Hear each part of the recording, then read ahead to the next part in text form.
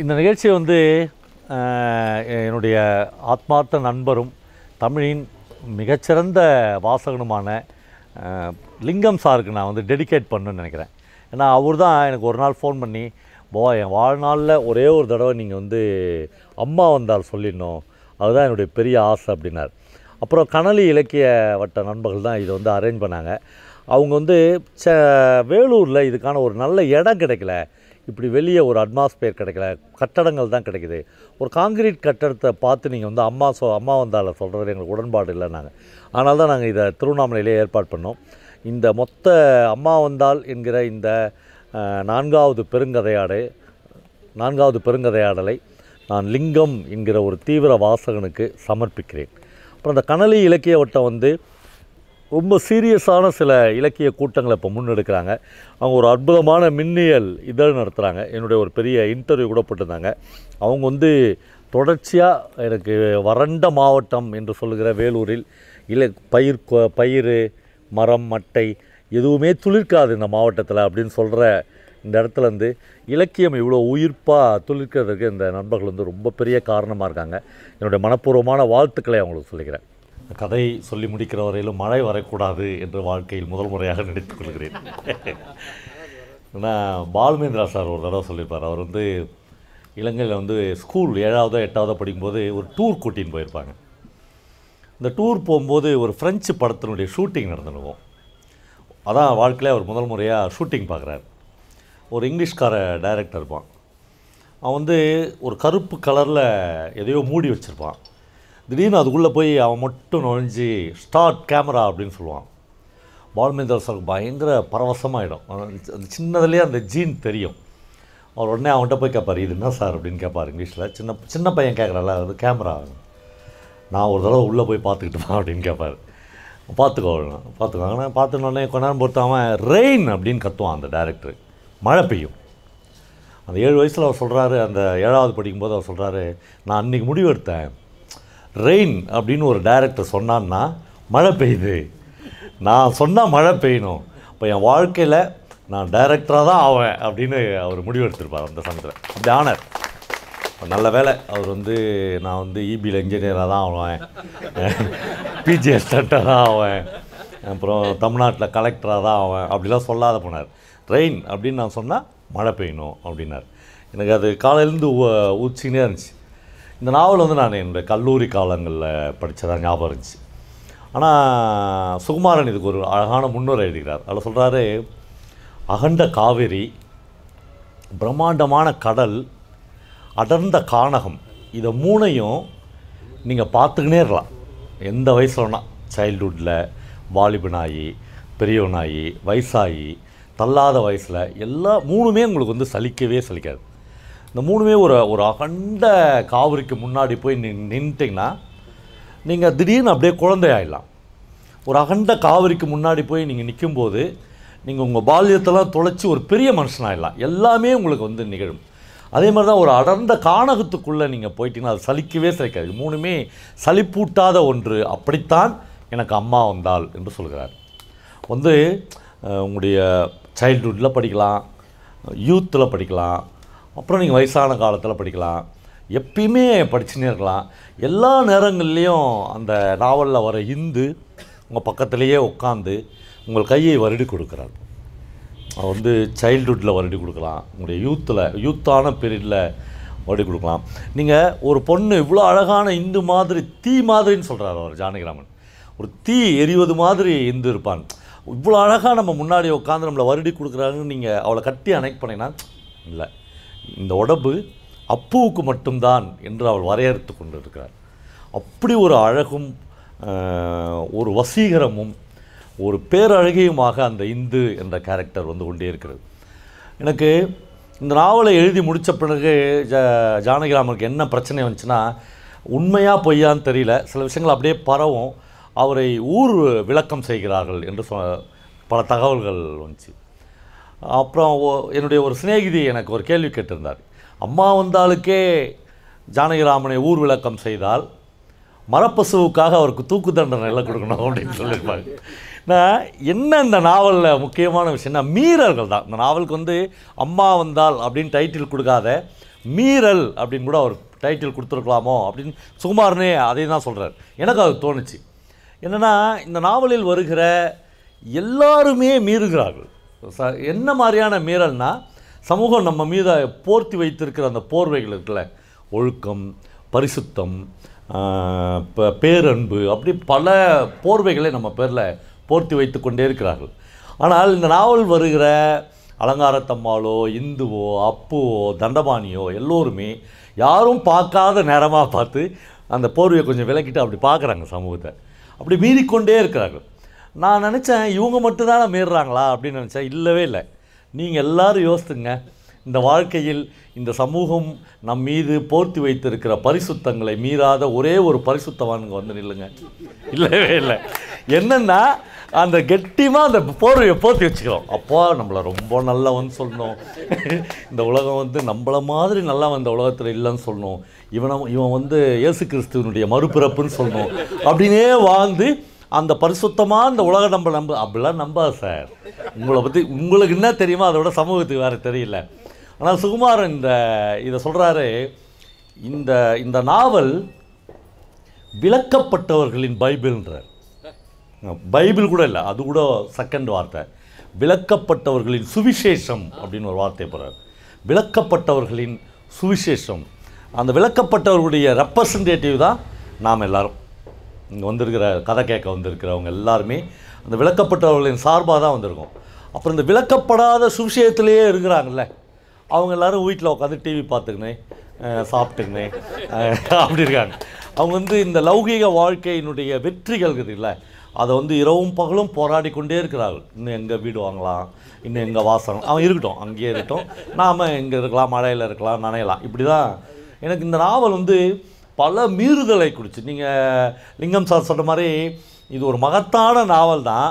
இது ஒரு மகத்தான நாவல் இல்லை தான் ஆமாம் ஏன்னா சுகுமாரன் இந்த முன்னுரையில் அழகாக சொல்கிறாரு ஒருவேளை ஜானகிராமன் இந்த பீரியடில் இந்த நாவலை எழுதியிருந்தால் அது ஒரு காலாவதியான நாவலாக இருந்திருக்கும்னு சொல்கிறார் வேத பாடசாலை எங்கே இருக்குது ஒரு வேத பாடசாலைக்கு எஸ் எஸ் குடுமி போட்ட ஒரு பையனை கூட்டின்னு போய் ஏழு வயசில் வேத பாடசாலையில் விட்டுட்டு வர ஒரு நடுத்தர வர்க்கத்து பிராமணன் எங்கே இருக்கான்? ஒரு காவிரி அகண்ட காவிரி தூய்மையும் பரிசுத்தத்தோடும் ஓடிக்கொண்டிருக்கிற காவிரி எங்கே இருக்கு? இது எல்லாமே ஜானகிராமன் இந்த நாவலிலிருந்து காலாவதியாகிவிட்டது. ஆனால் இந்த நாவல் காலாவதி ஆகவே இல்லை. இந்த நாவல் நம்முடைய நினைவுகளின் குறிப்பேடாக நம்முடைய மெமரிஸினுடைய மிகப்பெரிய ஆவணமாக நம்முடைய நினைவுகளின் பைபிளாக நம்முடைய நினைவுகளின் திருக்குறளாக திருக்குறானாக அப்படியே நிலைத்து நின்று விட்டது இப்போ எழுதாமல் இருக்கலாம். ஆனால் எழுதின பேரில் ஜானகிராமன் என்ன அறுபதுகளில் இந்த நாவல் வெளிவந்திருக்குது கிட்டத்தட்ட ஏ- நான் நான் பிறப்பதற்கு முன்னால் நான் பிறப்பதற்கு ஒரு அஞ்சு வருஷத்துக்கு முன்னாடி இந்த நாவல் எழுதுகிறார். எவ்வளவு தைரியமாக ஜானகிராமன் இதை டீல் பண்ணியிருக்காரு.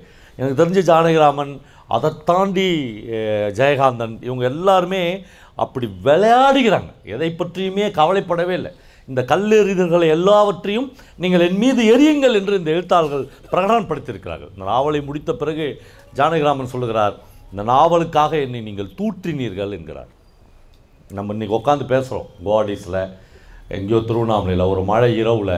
ஆனால் இந்த நாவல் எழுதப்பட்ட போது நீங்கள் இந்த நாவலுக்காக என்னை தூற்றினீர்கள். பிரஸ்டன் என்று நீங்கள் சொல்லுகிறீர்கள். பிரஸ்டன்னா துன்மார்க்கன் கெட்டவன் மோசமானவன் அயோக்கியன் ராஸ்கேல் என்னென்ன கெட்ட வார்த்தை இருக்குதோ அது எல்லாம் அப்படின்னு சொல்லிக்கிறாங்க ஜானகிராமன். அவர் சொல்கிறாரு என்ன செய்வது? நம் நாட்டில் பிரஸ்டர்களிடமிருந்து தான் கதைகள் பிறக்கிறது. கதைகள் பிறக்கிறது. நீங்கள் ரொம்ப நான் பல கூட்டங்களில் சொல்கிறதான் பிரஸ்டர்களிடமிருந்து தான் கலைகள் பிறக்கும். ஜானகிராமன் இந்த கதையை எங்கேருந்து துவங்குகிறார்னா சரஸ்வதி பூஜை வருதுல்ல. இந்த சரஸ்வதி பூஜை அன்னைக்கு புத்தகங்களே படிக்கக்கூடாது ஒரு எழுத்தை கூட படிக்கக்கூடாது அப்படின்னு ஒரு எழுதப்படாத விதி இருக்குமா?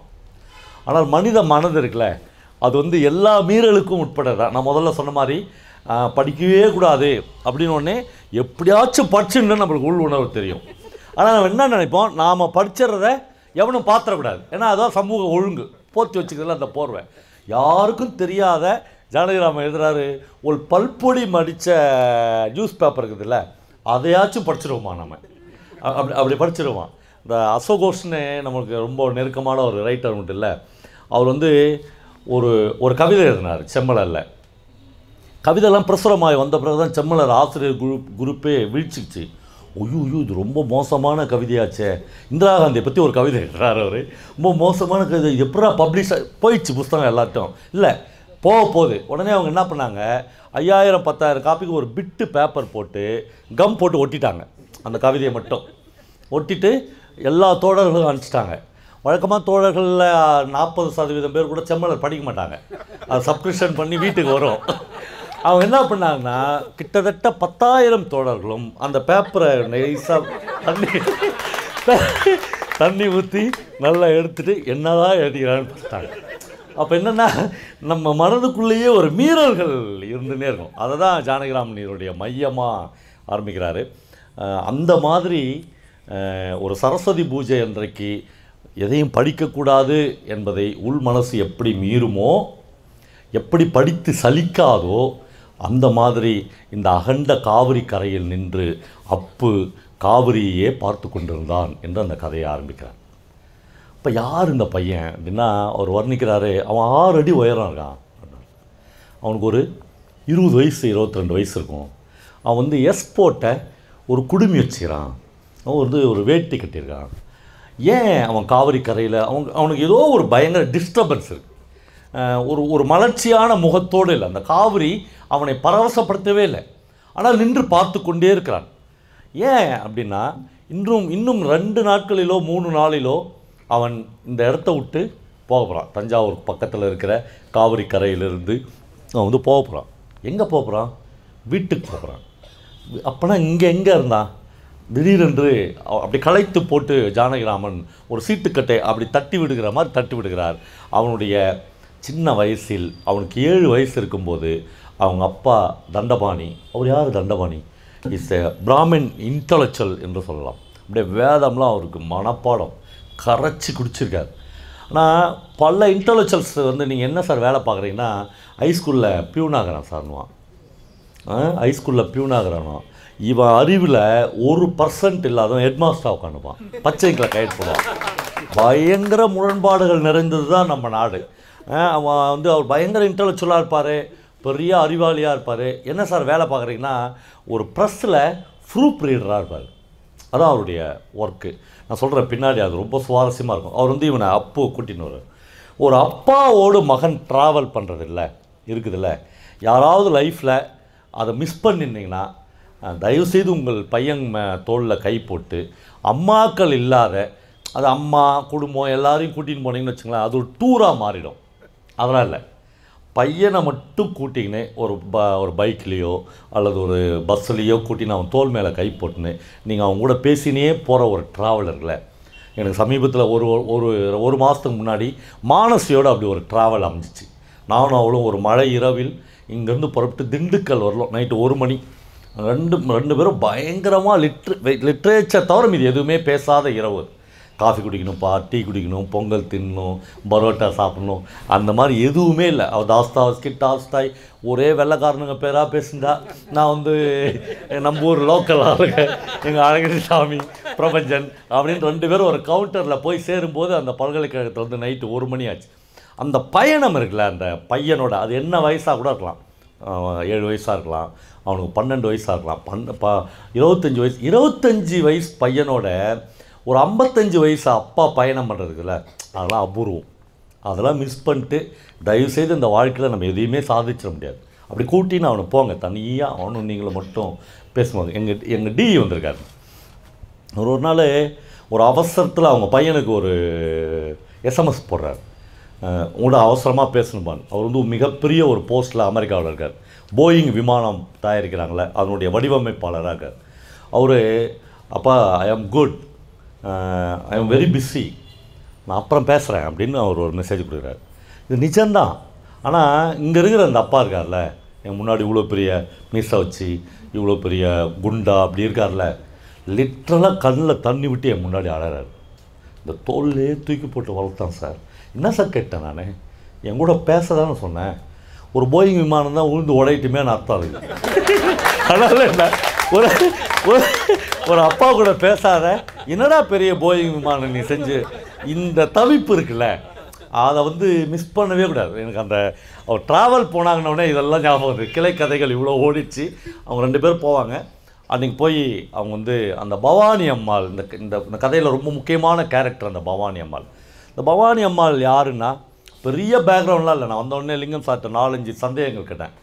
தோழர் பவானி அம்மாளுக்கு ஏதாவது பேக்ரவுண்டு வர்ணிச்சுக்கிறாரு தோழர் ஜானகிராமன்? இல்லை அந்த அம்மா கணவனை இழந்த ஒரு விடோ கணவனை இழந்த ஒரு விடோ வந்து எப்படா நம்ம வந்து நாமளும் கணவர் கூடயே போய் சேர்ந்துடலாம் அப்படின்னு தான் தாவம் இருப்பாங்க இல்லையா? அப்புறம் நமக்கு என்ன இருக்குன்னு? ஆனால் அந்த அம்மாவுக்கு வேறு ஏதோ ஒன்று தோணிக்குது. அந்த அம்மா வந்து முப்பது வேலி நிலத்தை ஒரு வேத பாடசாலை நடத்தணும் அப்படின்னு எழுதி வச்சிருக்கு. அதுக்குள்ளே ஒரு வேத பாடசாலை இருக்குது. அங்கே ஒரு பத்து பாஞ்சு பசங்க வேதம் கற்றுக்க வந்திருக்காங்க. எல்லாமே குடுமி போட்டுன்னு இருக்காங்க. அவங்க எல்லாருமே பிராமண பசங்களாக இருக்காங்க. அதெல்லாம் வேறு. அது அதை பற்றிலாம் நம்ம பேசினா அது அது வேறு. நான் ஜானகிராமன் இந்த ஒரு குறிப்பிட்ட லைஃப் எடுத்து எழுதுறாரு. நம்ம அப்படி தான் பார்க்கணும் அப்புறம் இதுக்குள்ளே இருக்காங்க. இந்த பையனில் ஒருத்தனா அவங்க அப்பா வந்து இந்த அப்புவை விட்டு போகிறதுக்காக வந்துக்கிறார். நாளை காலையில் மறுபடியும் காவிரியில் முங்கி எழுந்து எஸ் குடுமி போட்ட அப்புவை முங்கி எடுத்து அப்பா வந்து பிள்ளைய குளிக்க வைக்கிறது இல்லை குளிக்க வைக்கிறதுக்கு இல்லை அவன் உடம்ப தடவி அவனுக்கு எண்ணெய் தேய்ச்சி சோப்பு போட்டு அப்படி நீரில் முக்கி நான் குளிக்க வைக்கலாம் ஷவரில் சொல்ல. அதில் நீங்கள் குளிக்க வைக்கவே முடியாது. நான் பிரபஞ்சம் சொல்லார் அதெல்லாம் குளியல் கிடையாது. அது கழுவல் அப்படின்னாரு வந்து குளியல்ன்றது வந்து முங்கி குளிக்கணும்டா. அதுக்கு பேர் தான் மு- குளியல். இந்த ஷவரில் குளிக்க வைக்கிறது டேப்பை திறந்து விட்டுட்டு குளிக்கிறது அப்புறம் டப்பு வீட்டுக்குள்ளேயே செஞ்சு குளிக்கிறான்ல அது எல்லாமே கழுவலில் தான் செய்கிறோம் அப்படி குளிக்க வச்சு அப்போவை கூட்டின்னு வந்து விட்டுட்டு ஒரு அந்த இரவு வந்து அவர் அவன் கூடயே தங்கியிருந்து அடுத்த நாள் அவனை அந்த குளிக்க வச்சு முடித்து இருந்துக்கோ அப்படின்னு சொல்லிட்டு பவானி அம்மாள்கிட்ட வந்து அவனை ஒப்படைப்பார். அவன் விழுந்து சாஷ்டாங்கமாக விழுந்து பவானி அம்மாளை நமஸ்காரம் பண்ணிக்கொள்வான். இது உங்கள் புள்ள வச்சுக்கோங்க என்று சொல்லிவிட்டு திரும்பி பார்க்காமல் போய்விடுவான். ப போச்சு. பதினாறு வருஷம். பதினாறு வருஷம் இவன் வேதத்தில் மிகப்பெரிய அப்படியே எக்ஸ்பர்ட் ஆகிடுவான் விற்பனனாக மாறிடுவான். நாலு முறை மைசூருக்கு போய் பரீட்சை எழுதுவான்.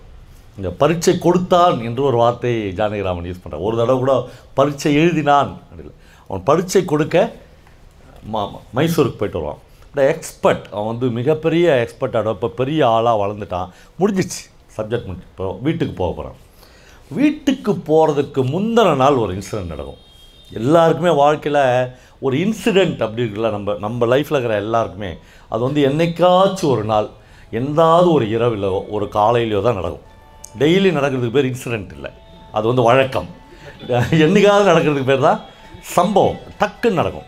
அந்த மாதிரி என்னென்னா எதேச்சியாக ஒன்று அந்த வீட்டில் நடக்கும். என்னென்னா பவானி அம்மா அந்த வேத பாடசாலையில் பாடம் சொல்லி கொடுக்குற ஒரு வாத்தியார் வீட்டு கல்யாணத்துக்கு போயிடுவாங்க. அந்த பசங்கள்லாம் விட்டுட்டு அப்புவை தன் வீட்டுக்கு இந்துவுக்கு துணையாக இரு அப்படின்னு விட்டு போவாங்க. யார் சார் திடீர்னு இந்து அப்படின்னா அந்த பவானி அம்மாவுடைய தம்பி பொண்ணவ ம்?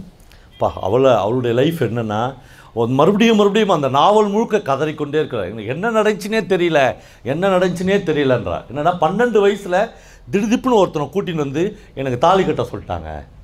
பன்னெண்டு வயசில் ஒரு மஞ்சா கைத்தை எடுத்துன்னு வந்து ஒரு கல்யாணன்ற பேரில் எனக்கு தாலி கட்டினா போடி உள்ள போடி உள்ளன்னு ஒரு ரூமில் அவங்க கூட தள்ளி விட்டாங்க. அவள் வந்து ரொம்ப சின்ன வயசுலேருந்தே இந்த அப்பு தான் நமக்கு வேணும். இந்த அப்போட தான் நம்ம வாழ்க்கை இந்த அப்போடு தான் நம்முடைய பகல் இந்த அப்போடு தான் நம்முடைய இரவு. எல்லாமே ஒவ்வொன்றாக கற்பனை பண்ணி கொண்டே இருப்பாள். ஆனால் பெண்களுடைய இந்த ட்ரீம்ஸ் இருக்குல்ல அது அன்றைக்கும் சரி இன்றைக்கும் சரி என்றைக்குமே நிறைவேறினதே இல்லை. அது திடீர்னு ஒரு பிடபிள்யூவில் வேலை செய்கிற இன்ஜினியரால் கலைஞ்சிரும். பிடபிள்யூவில் வேலை பார்க்குறா இதை விட உனக்கு இன்னாடி வேணும்? அப்படின்ட்டாங்கன்னா முடிஞ்சு உன் கனவு ட்ரீமு கலர் எல்லாமே எரேஸ் பண்ணப்படும். அந்த மாதிரி திடீர்னு அந்த அவள் வந்து திரும்பி பார்த்துனே போவாள் அந்த மாட்டு வண்டியில் ஏறி அவள் ஊருக்கு ஈரோட்டுக்கு போகும்போது அப்போவை திரும்பி பார்த்துனே போவாள் இந்த ஜடம் இருக்குல்ல இவர் தான் எஸ் குடுமி போட்டுன்னு வேதம் படிக்க வந்தார்ல. இவர் வந்து அப்படி திரும்பவே மாட்டார். அதெல்லாம் மகா பாபம் ஆ, பெண்களை இப்போ திரும்பி பார்ப்பது மகாத்திலே மகா பாவம் அப்படின்னு ஒரு திரும்பவே மாட்டார். அவள் என்ன நினைக்கிறான்றது இவனுக்கு தெரியவே தெரியாது. இவன் வேற ஒரு உலகத்தில் அப்படியே சஞ்சரிச்சுனே இருப்பான். அப்படி போவா மாட்டு வண்டியில் போவா. ஒரு மூணு வருஷம் பொறுத்து திடீர்னு வீட்டுக்கு வந்துடுவான் என்னாச்சுன்னா ஜானகிராமன் வந்து ஜானகிராமன் கதையில் பகடிகள் இல்லை நையாண்டிகள் இல்லை அப்படின்னு நம்ம நினைக்கலாம். ந- நாம் நினைக்கிற மாதிரி பகடிகளையும் நையாண்டியும் வார்த்தைகளில் சொல்ல சேர்க்கணும்னு கிடையாது. சில விஷயங்களை அவர் சொல்கிறாரு இந்த தாலி கட்டினால ஒருத்தன் அதுக்கே அவன் அவ்வளோ சிரமப்பட்டான்னு எழுதுறாரு. அவன் வந்து இந்த கையை தூக்கி அவனால் தாலியே கட்ட முடியாது. ஏன்னா அவனுக்கு டிபி இருக்கும். டிபி இருக்கும். அப்புறம் மூணு அவன் சொல்கிறா உன்னை உள்ளே போனேன். என்னை எல்லாம் தள்ளி விட்டா. அவனுக்கு நீ தான் பொண்டாட்டி பொண்டாட்டின்னு சொன்னான் பொண்டாட்டின்னு சொல்லிட்டா? நான் பொண்டாட்டி ஆகிடுவேண்ணா உடம்ப தானே அவன் எடுத்துக்கினான். அப்படியே மூணு வருஷத்தில் இதே வீட்டுக்கு வந்துட்டான். அவளுக்கு ஒரு வகையில் பயங்கர மகிழ்ச்சி தான். அவளும் அந்த மீறலுக்கு உட்பட்டவ தான். பெண்கள் எல்லாவற்றையும் தங்கள் உள்ளுக்குள் அழுத்தி கொள்கிறார்கள். எங்கள் எங்கள் நிலத்துலலாம் களை பறித்து காலையில் கூட ராஜா வந்து களை பறிச்சார் களை பறித்து இவ்வளோ களை வருது இல்லை அது என்ன பண்ணுவாங்கன்னு பார்த்தீங்கன்னா நீங்கள் இங்கே இருக்கிற விவசாயிகளுக்கு தெரியும். இந்த பெருமாள் சாருக்கு தெரியும். இந்த களையை சேத்துக்குள்ளேயே போட்டு காலில் மிச்சுவாங்க உள்ளே போயிடாது. பூமிக்குள்ளே போய் அடங்கிடும். பெண்களுடைய பல விஷயங்கள் அப்படி உள்ள சேத்துல போட்டு மிதிச்சிருவாங்க ஆனால் நண்பர்களே அது இல்லை அவர்கள் மன உலகம். ம், அவளுக்கு ஒரு பெரிய சந்தோஷம் இருக்கும். இந்த நாய் இப்பயாச்சும் செத்துச்சு நல்லது. நம்ம மறுபடியும் ஊருக்கு போகலாம். அப்போவை பார்க்கலாம். அந்த வீட்டோட அமைப்பு இருக்குல்ல அது வந்து ஒரு தனி வீடு ஒரு பெரிய லேண்டு. அப்படியே புழக்கடை பக்கம் போனால் வேத பாடசாலைக்கு போயிடலாம். இந்த வேத பாடசாலையினுடைய சாப்பாட்டை பற்றி ஜானகிராமன் எழுதுறாரு. அவரை போய் கிண்டல்லாம் தெ தெரியாது. ரொம்ப சீரியஸான ரைட்டர் ரைட்டர் நம்ம சொல்கிறார் சொல்கிறாரு தினந்தோறுமே அவங்க வந்து ஒரே டிஷ் தான். என்னென்னா ப சாதம் பழைய சாதம் அல்லது புது சாதம் ஒரு புளிச்ச மோர். அவருக்கு என்ன எல்லாருக்குமே அந்த பசங்களுக்கெலாம் அந்த சாப்பிட்ற பசங்களுக்கு தோணுன்னா இந்த மோர் வந்து மிக நிச்சயமாக மாட்டுலேருந்து வந்ததில்லை. வேறு ஏதோ ஒரு விலங்குலேருந்து வந்துச்சு. ஏன்னா இவ்வளவு நீச்ச நாத்தம் மாட்டிலேருந்து வர ஒரு மோருக்கு வரவே வராது. அப்புறம் ஒரு நார்த்தங்காய் ஊறுகாய். அந்த நார்த்தங்காய் இருக்குதுல்ல அது வந்து காவிரி கரையை தாண்டி மனம் வீசும். அப்படி எடுத்து வச்சாங்கன்னா இதுதான் டெய்லி உணவே. ஏன்னா ஒரு நாள் ஒரு பையன் கேட்டுருவான் இதையே சாப்பிட்டு எப்படி வாழறதுன்னு? அப்புறம் நம்முடைய உபதேசங்கள் நம்முடைய வேதாந்தங்கள் நம்முடைய வேதாந்திகள்லாம் நம்மளை கன்வின்ஸ் பண்ணுவாங்க. பல கதைகள் இருக்கும் அது. ஒருத்தர் உட்கார வச்சு ஒரு வாதியார் ஒருத்தர் அந்த பையனை கதை சொல்லுவார். தம்பி இந்த வேத வேத பாடசாலைக்கு ஒரு பையன் வந்தானா? வந்தான். அவன் வந்தோடனே முதல் நாள்லேருந்து அவனுக்கு வந்து சாப்பாட்டில் நெய்க்கு பதில் விளக்கெண்ணெய் ஊற்றணும் ம்? முதல் நாள் அவன் விளக்கெண்ணெய் சாப்பிட்டான்ல அவனுக்கு வந்து அது தெரியவே இல்லை நெய் அப்படின்னு சாப்பிட்டான். ஒரு பதினஞ்சு வருஷம் டெய்லி அவனுக்கு சாப்பாட்டில் விளக்கெண்ணெய் தான். ஒரு நாள் திடீர்னு அவன் மூஞ்சி சுழிக்க ஆரம்பிச்சிட்டான். சரி இது என்ன? நெய் மாதிரியே இல்லை விளக்கெண்ணெய் மாதிரியே இருக்குது அப்படின்னா உனக்கு பாடம் முடிஞ்சிச்சுப்பா வீட்டுக்கு போன்ட்டாங்க. அவனுக்கு வந்து அவனுக்கு வந்து ருசி தெரிய ஆரம்பிச்சிச்சு. இது வந்து விளக்கெண்ணெய் அப்படின்னு அவன் பிரிச்சுட்டான்னா அவனுக்கு வந்து சப்ஜெக்ட் போயிடுச்சுன்னு அர்த்தம். வேதம் இனிமேலே அவனுக்கு ஏறாது. அதனால் நீ போயிட்டு அப்பா அவனுக்கு பாடம் முடிஞ்சிச்சு. நீ போய் நாலு பேருக்கு விளக்கண்ணை ஊற்று அப்படின்னு அவனை அடிச்சிடுறது. அப்படி ஒரு செயின் ஆக்ஷன் அது. இந்த மாதிரியான ஒரு வாழ்க்கை சூழல்லையே இந்த பையன் அப்படி வளர்றானா? இப்போ எல்லாவற்றையும் விட்டுட்டு போகிறான் இன்றைக்கி பை சான்ஸாக அவனுக்கு என்ன நடக்கும்னா இந்த அம்மா பவானி அம்மாள் அந்த வாத்தியார் வீட்டு கல்யாணத்துக்கு மூணு நாள் போயிடுவாங்க. இப்போ நம்ம நம்ம காலையில் போயிட்டு மொழி எழுதிட்டு அப்படி தெ- தெரிஞ்சு தெரியாமல் அப்படி ஒரு கவர் கொடுத்துட்டு அரை ஒரு டிஃபன் சாப்பிட்டு வரலாம் அப்படி இல்லை கல்யாணம். அதுவும் பிராமணன் வீட்டு கல்யாணம். ஒரு மூணு நாள் நடக்கும். வண்டி கட்டி போயிடுவாங்கல்ல அப்படி போயிடுறாங்க. அப்போவை அந்த இந்துவுக்கு காவலாக விட்டு போவாங்க. ம், மனசில் அப்படியே தகிச்சு நிற்கிறா கல்யாணத்துக்கு முன்னாடி இருந்து இந்த பையனுக்காக. அவளுக்கு வந்து இவன் எப்படா வருவான்? இவன் காவிரி கரையிலேருந்து வரான் அப்படியே. இந்த காவிரி கரையிலேருந்து அந்த சாயங்காலத்தில் அப்பா அதெல்லாம் வந்து அமானுஷ்யம். அமானுஷ்யம் எனக்கு வந்து பொறாமே ஆயிடுச்சு இந்த வாழ்க்கையெல்லாம் இழந்துட்டு எதுக்குடா மனுஷன் வாழணும்னு. அந்த இருட்டுற நேரம் இருக்குல்ல இந்த இருட்டுற நேரத்தில் காவிரி கரையில் நின்று அந்த தண்ணி போகிற விஷயம் வந்து அப்படியே உங்கள் கண் முன்னாடி மங்கிக்கினே இருக்குமா? அப்போ என்னென்னலாம் பறவைகள் கத்துதுன்னு ஜானகிராமன் எழுதுகிறார் என்ன பறவைகள் கத்துது என்ன பறவைகள் கிராஸ் பண்ணுது? குருக்கள் வந்து தன்னுடைய கோயிலில் இருக்கிற சிலைக்கு வந்து ஒரு அபிஷேகம் பண்ணுறதுக்கு ஒரு குடம் தண்ணி காவிரியிலேருந்து எடுத்துன்னு போவார்.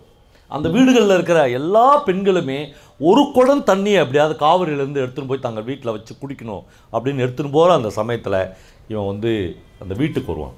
அவன் வருகைக்காகவே காத்துன்னு போவேன் வந்துட்டே அப்போ அப்படி.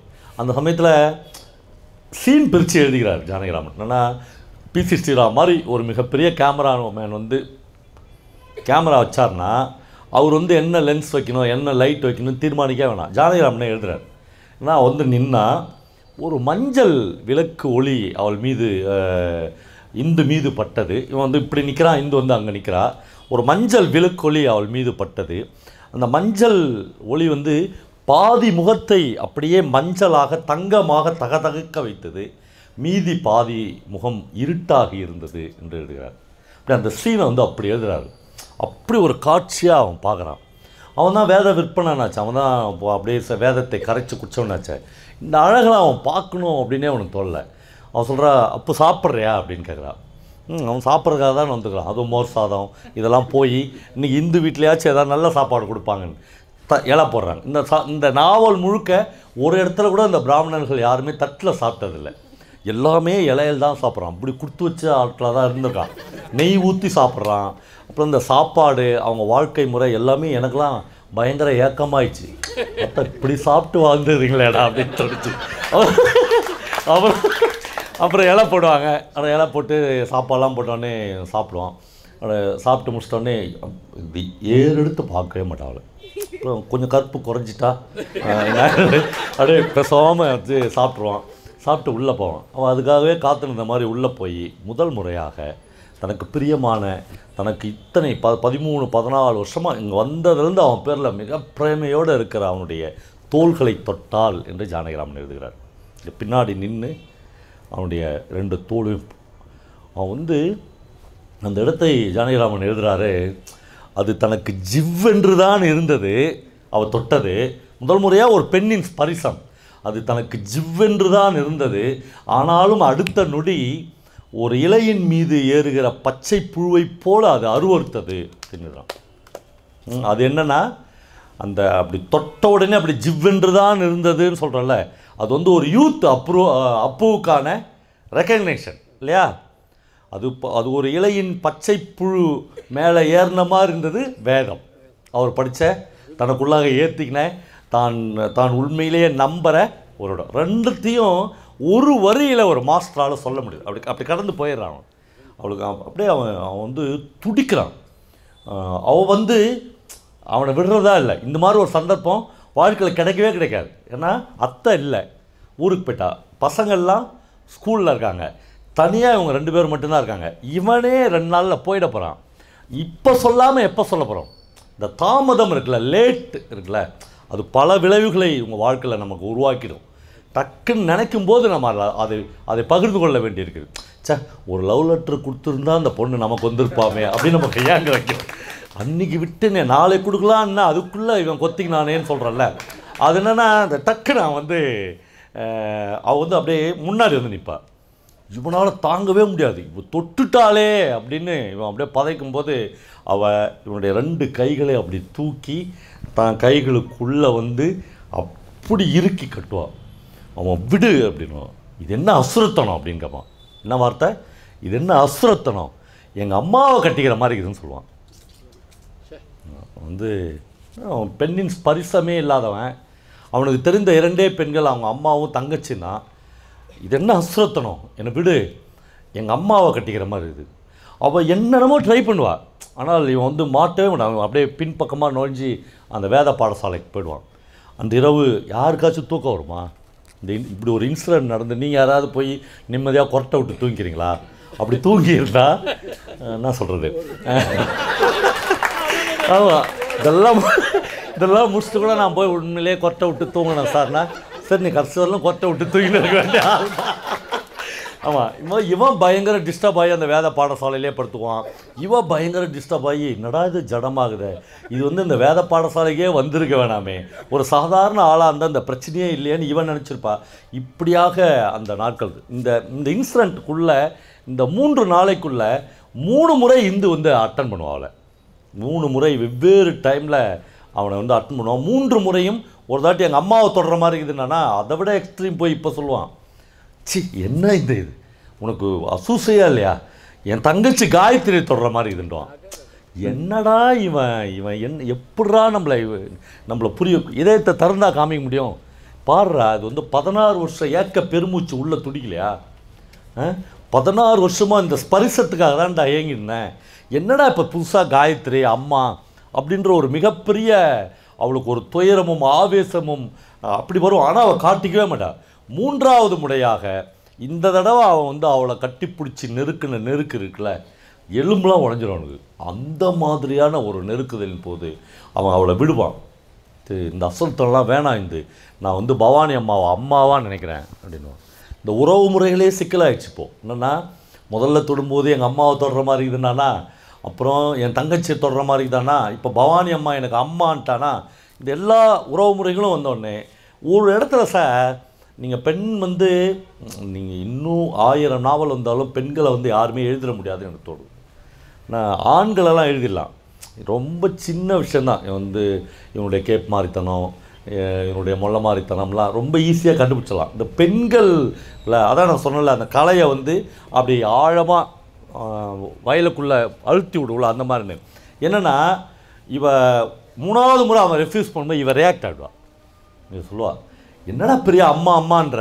உங்கள் அம்மா பெரிய யோகியமா கேட்டு பாருன்னு சொல்லுவான் அதான் உங்கள் அம்மா பெரிய யோகியமா உங்கள் அம்மா அம்மான்ற? உங்கள் அம்மா அங்கே என்ன பண்ணினாலும் உனக்கு தெரியுமாண்டுவான் பதினாறு வருஷமாக ஒரு வேத பாடசாலையில் வளர்ந்த ஒரு பையனுக்கு உங்கள் அம்மா அங்கே என்ன பண்ணுகிறா பாரு? உங்கள் அம்மா பெரிய யோகியமான்னு சொன்னால் நீங்கள் என்ன ஆவீங்க? பொசுக்கிட மாட்டேங்க.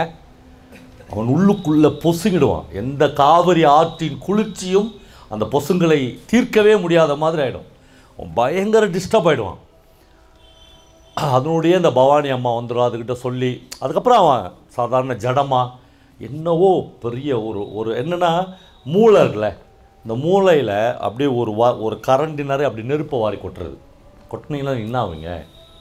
அந்த மாதிரி இவனுடைய ரயில் பயணம் அமையும். ரயில் பயணத்தில் தூக்கம் எதுவுமே இல்லை. அப்படியே பிறாண்டு அவன். அவன் போய்க்கொண்டே இருப்பான். அப்படியே ஜானகிராமன் கேமராவை இன்னொரு பக்கம் திருப்புகிறார். ட்ரிப்ளிகனில் சென்னை திருவல்லிக்கேணியில் பார்த்தசாரதி கோயிலுக்கு பின்புறத்தில் உள்ள ஒரு அகரஹாரத்தில் ஒரு மாடு கட்டியிருக்கிற சந்துக்கு பக்கத்தில் இருக்கிற ஒரு ஒண்டு குடுத்தனத்தில் ஒரு வீட்டை காண்பிக்கிறார். அந்த வீடை அவருடைய கேமரா போய் இந்த வீட்டுக்குள்ளாக தண்டபாணி என்கிற அப்பவி பதினாறு வருடத்துக்கு முன்னால் வந்து வேத பாடசாலையில் விட்டு விட்டு போன இந்த தண்டபாணி என்கிற ஆகுருதியான ஒரு மனிதனை காமிக்கிறார் ஒரு நல்ல உயரமான ஆள் தாட்டிகமான வேதம் படித்தவர் வேத விற்பன்னர்.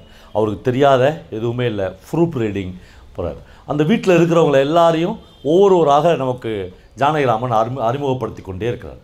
அப்புறம் ஒரு அம்மாவை அறிமுகப்படுத்துகிறார். அந்த அம்மா தான் அலங்காரத்தம்மாள் அதான் இந்த நாற்பதுகளில் லிங்கம் சார் மாதிரி வயசில் இருந்தாங்கள்ல இவங்க எல்லாம் ஒரு காலத்தில் அலங்காரம் அலங்காரம்னு அலைஞ்சா ஒரு நாவலில் ஜானகிராமன் அலங்காரம்னு எழுதுகிற உடனே தமிழ்நாட்டில் இருக்கிற அத்தனை வயசு அந்த மிடில் ஏஜ் ஆட்கள் இருக்கிறாங்களே ஐயோ இந்த அலங்காரத்தை நாம் மிஸ் பண்ணிட்டோமே அப்படின்னு அலைஞ்ச ஒரு பீரியடு அப்படி ஒரு வர்ணனை ஜானகிராமன் அந்த அம்மாவை பற்றி எழுதுகிறார் தாட்டிகமான உடம்பு. எல்லாமே அந்த அந்தந்த சைஸுக்கு அப்படின்னு எழுதுவோம்ல அப்படிலாம் இல்லையா? எல்லாமே சைஸுக்கு கொஞ்சம் அதிகமாக ஏன்னா எல்லாம் ஒரு அஞ்சே முக்காடி பெண்ணுன்னா அவள் வந்து ஒரு ஆறு அடி ஒரு மாநிறம்னா ஒரு திக்கு மாநிறம் அவருடைய அவளுடைய அந்த இந்த- இந்த கை இருக்குல்ல இந்த இதில் ஜாக்கெட் போட்ட அப்புறம் ஒரு வெளுப்பு வரும்ல. அது வந்து அப்படியே வெண்ணெய் மாதிரியே அப்படி வெண்ணாயை தொட்டுக்கிற மாதிரியே அப்படியே அப்படி ஒரு பிரம்மாண்ட அழகி. யார்? அப்போட அம்மா. அவளை பற்றி அப்படியே ரா ஜானகிராமன் வர்ணிக்கிறார். அவங்க வீட்டில் இப்போ வந்து மூணு பசங்க இருக்காங்க. ஒரு பையன் வந்து காலேஜ் ப்ரொஃபஸர் நம்ம நினைக்கிற மாதிரி டை கட்டி ஷூ போட்டு அப்படி ஒரு காலேஜ் ப்ரொஃபஸர் அவர் வந்து காலேஜ்லேருந்து வருவார். யாரையுமே பார்க்க மாட்டார். ட்ரிப்ளிகனில் என்ன நடக்குது கடல் இருக்குது வானம் இருக்குது நட்சத்திரம் இருக்குது. அதெல்லாம் தண்டபாணி பார்ப்பார். நான் சொல்கிறேன் இவன் வந்து நேராக வந்து ஷூவையும் டையும் அவுத்து வச்சுட்டு இவன் ரூமுக்கு போயிடுவான். நாலு பசங்க பின்னாடி அவர் டியூஷன் சொல்லி கொடுக்குறாரு முடிஞ்ச அவன் வாழ்க்கை? அவனுக்கு அவனுக்கு ஒரு மனைவி இருப்பான் அவள் அவளை அவளை தான் எனக்கு தெரிஞ்ச இந்த நாவலில் ஜானகிராமன் ரொம்ப வர்ணிக்கலை. ஏன் வர்ணிக்கனா ஒரு மாட்டு பொண்ணு எதுக்கு வர்ணிக்கணும் விட்டலாமேன்னு பரிதாபப்பட்டு விட்டார்.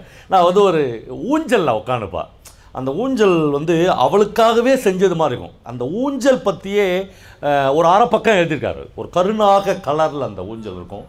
அதுக்கு வந்து வெள்ளி பூன் போட்டிருக்கும். அது வந்து அந்த இந்த கதைகளுடைய ஒரு கேரக்டராகவே அந்த ஊஞ்சல் வரும். அப்படி அவள் வந்து அதுக்குள்ளே உட்காந்துருப்பாள் அந்த ரெண்டு பசங்க ஒரு பையன் படிப்பான் ஒரு பையன் சீட்டு விளையாட போவான். இப்படி ஒரு குடும்பமாக அது இருக்கும். காலையில் அவருடைய லைஃப்பை வந்து ஜானகிராமன் எழுதுறாரு. காலையில் நாலு மணிக்கு டான்னு கண்டுபிடிச்சிருவாரு தண்டபாணி. அவர் எங்கே தெரியுமா படுப்பார்? ஓ இருபது வருஷமாக டெய்லி அவர் வீட்டு மொட்டை மாடையில் தான் படுப்பார். ஒரு பாய் தலகாணி எடுத்துன்னு என்ன மழை காற்றுனாலும் மொட்டை மாடிக்கு போயிடுவார். மேலே தான் அவருக்கு ரூம் இருக்கும். ரூமில் படுக்க மாட்டார். மொட்டை மாடியில் படுப்பார். மொட்டை மாடியில் எப்படி படுப்பார்னா மல்லாந்து படுப்பார் ஏன் மல்லாந்து படுப்பார்னா மல்லாந்து படுத்து ஒன்று காதுக்கு வந்து அவருடைய கடல் சத்தம் வந்து ஒரு இசை மாதிரி கேட்டுனே இருக்கும். கண்களில் அவர் நட்சத்திரங்களை வருடிக்கொண்டே இருப்பார். அப்படியே இருப்பார். அவருக்கு எப்போதாவது அலங்காரம் தேவைப்படுவார். ஜானகிராமன் அது என்ன கிளாசிக்காக எழுதுறான். எல்லா பசங்களும் தூங்கிட்ட பிறகு அவர் அப்படியே இறங்கி வருவார். கீழே வந்து அலங்காரத்தோட கையை தொடுவார். அவள் வந்து முழிச்சு பார்ப்பா என்ன?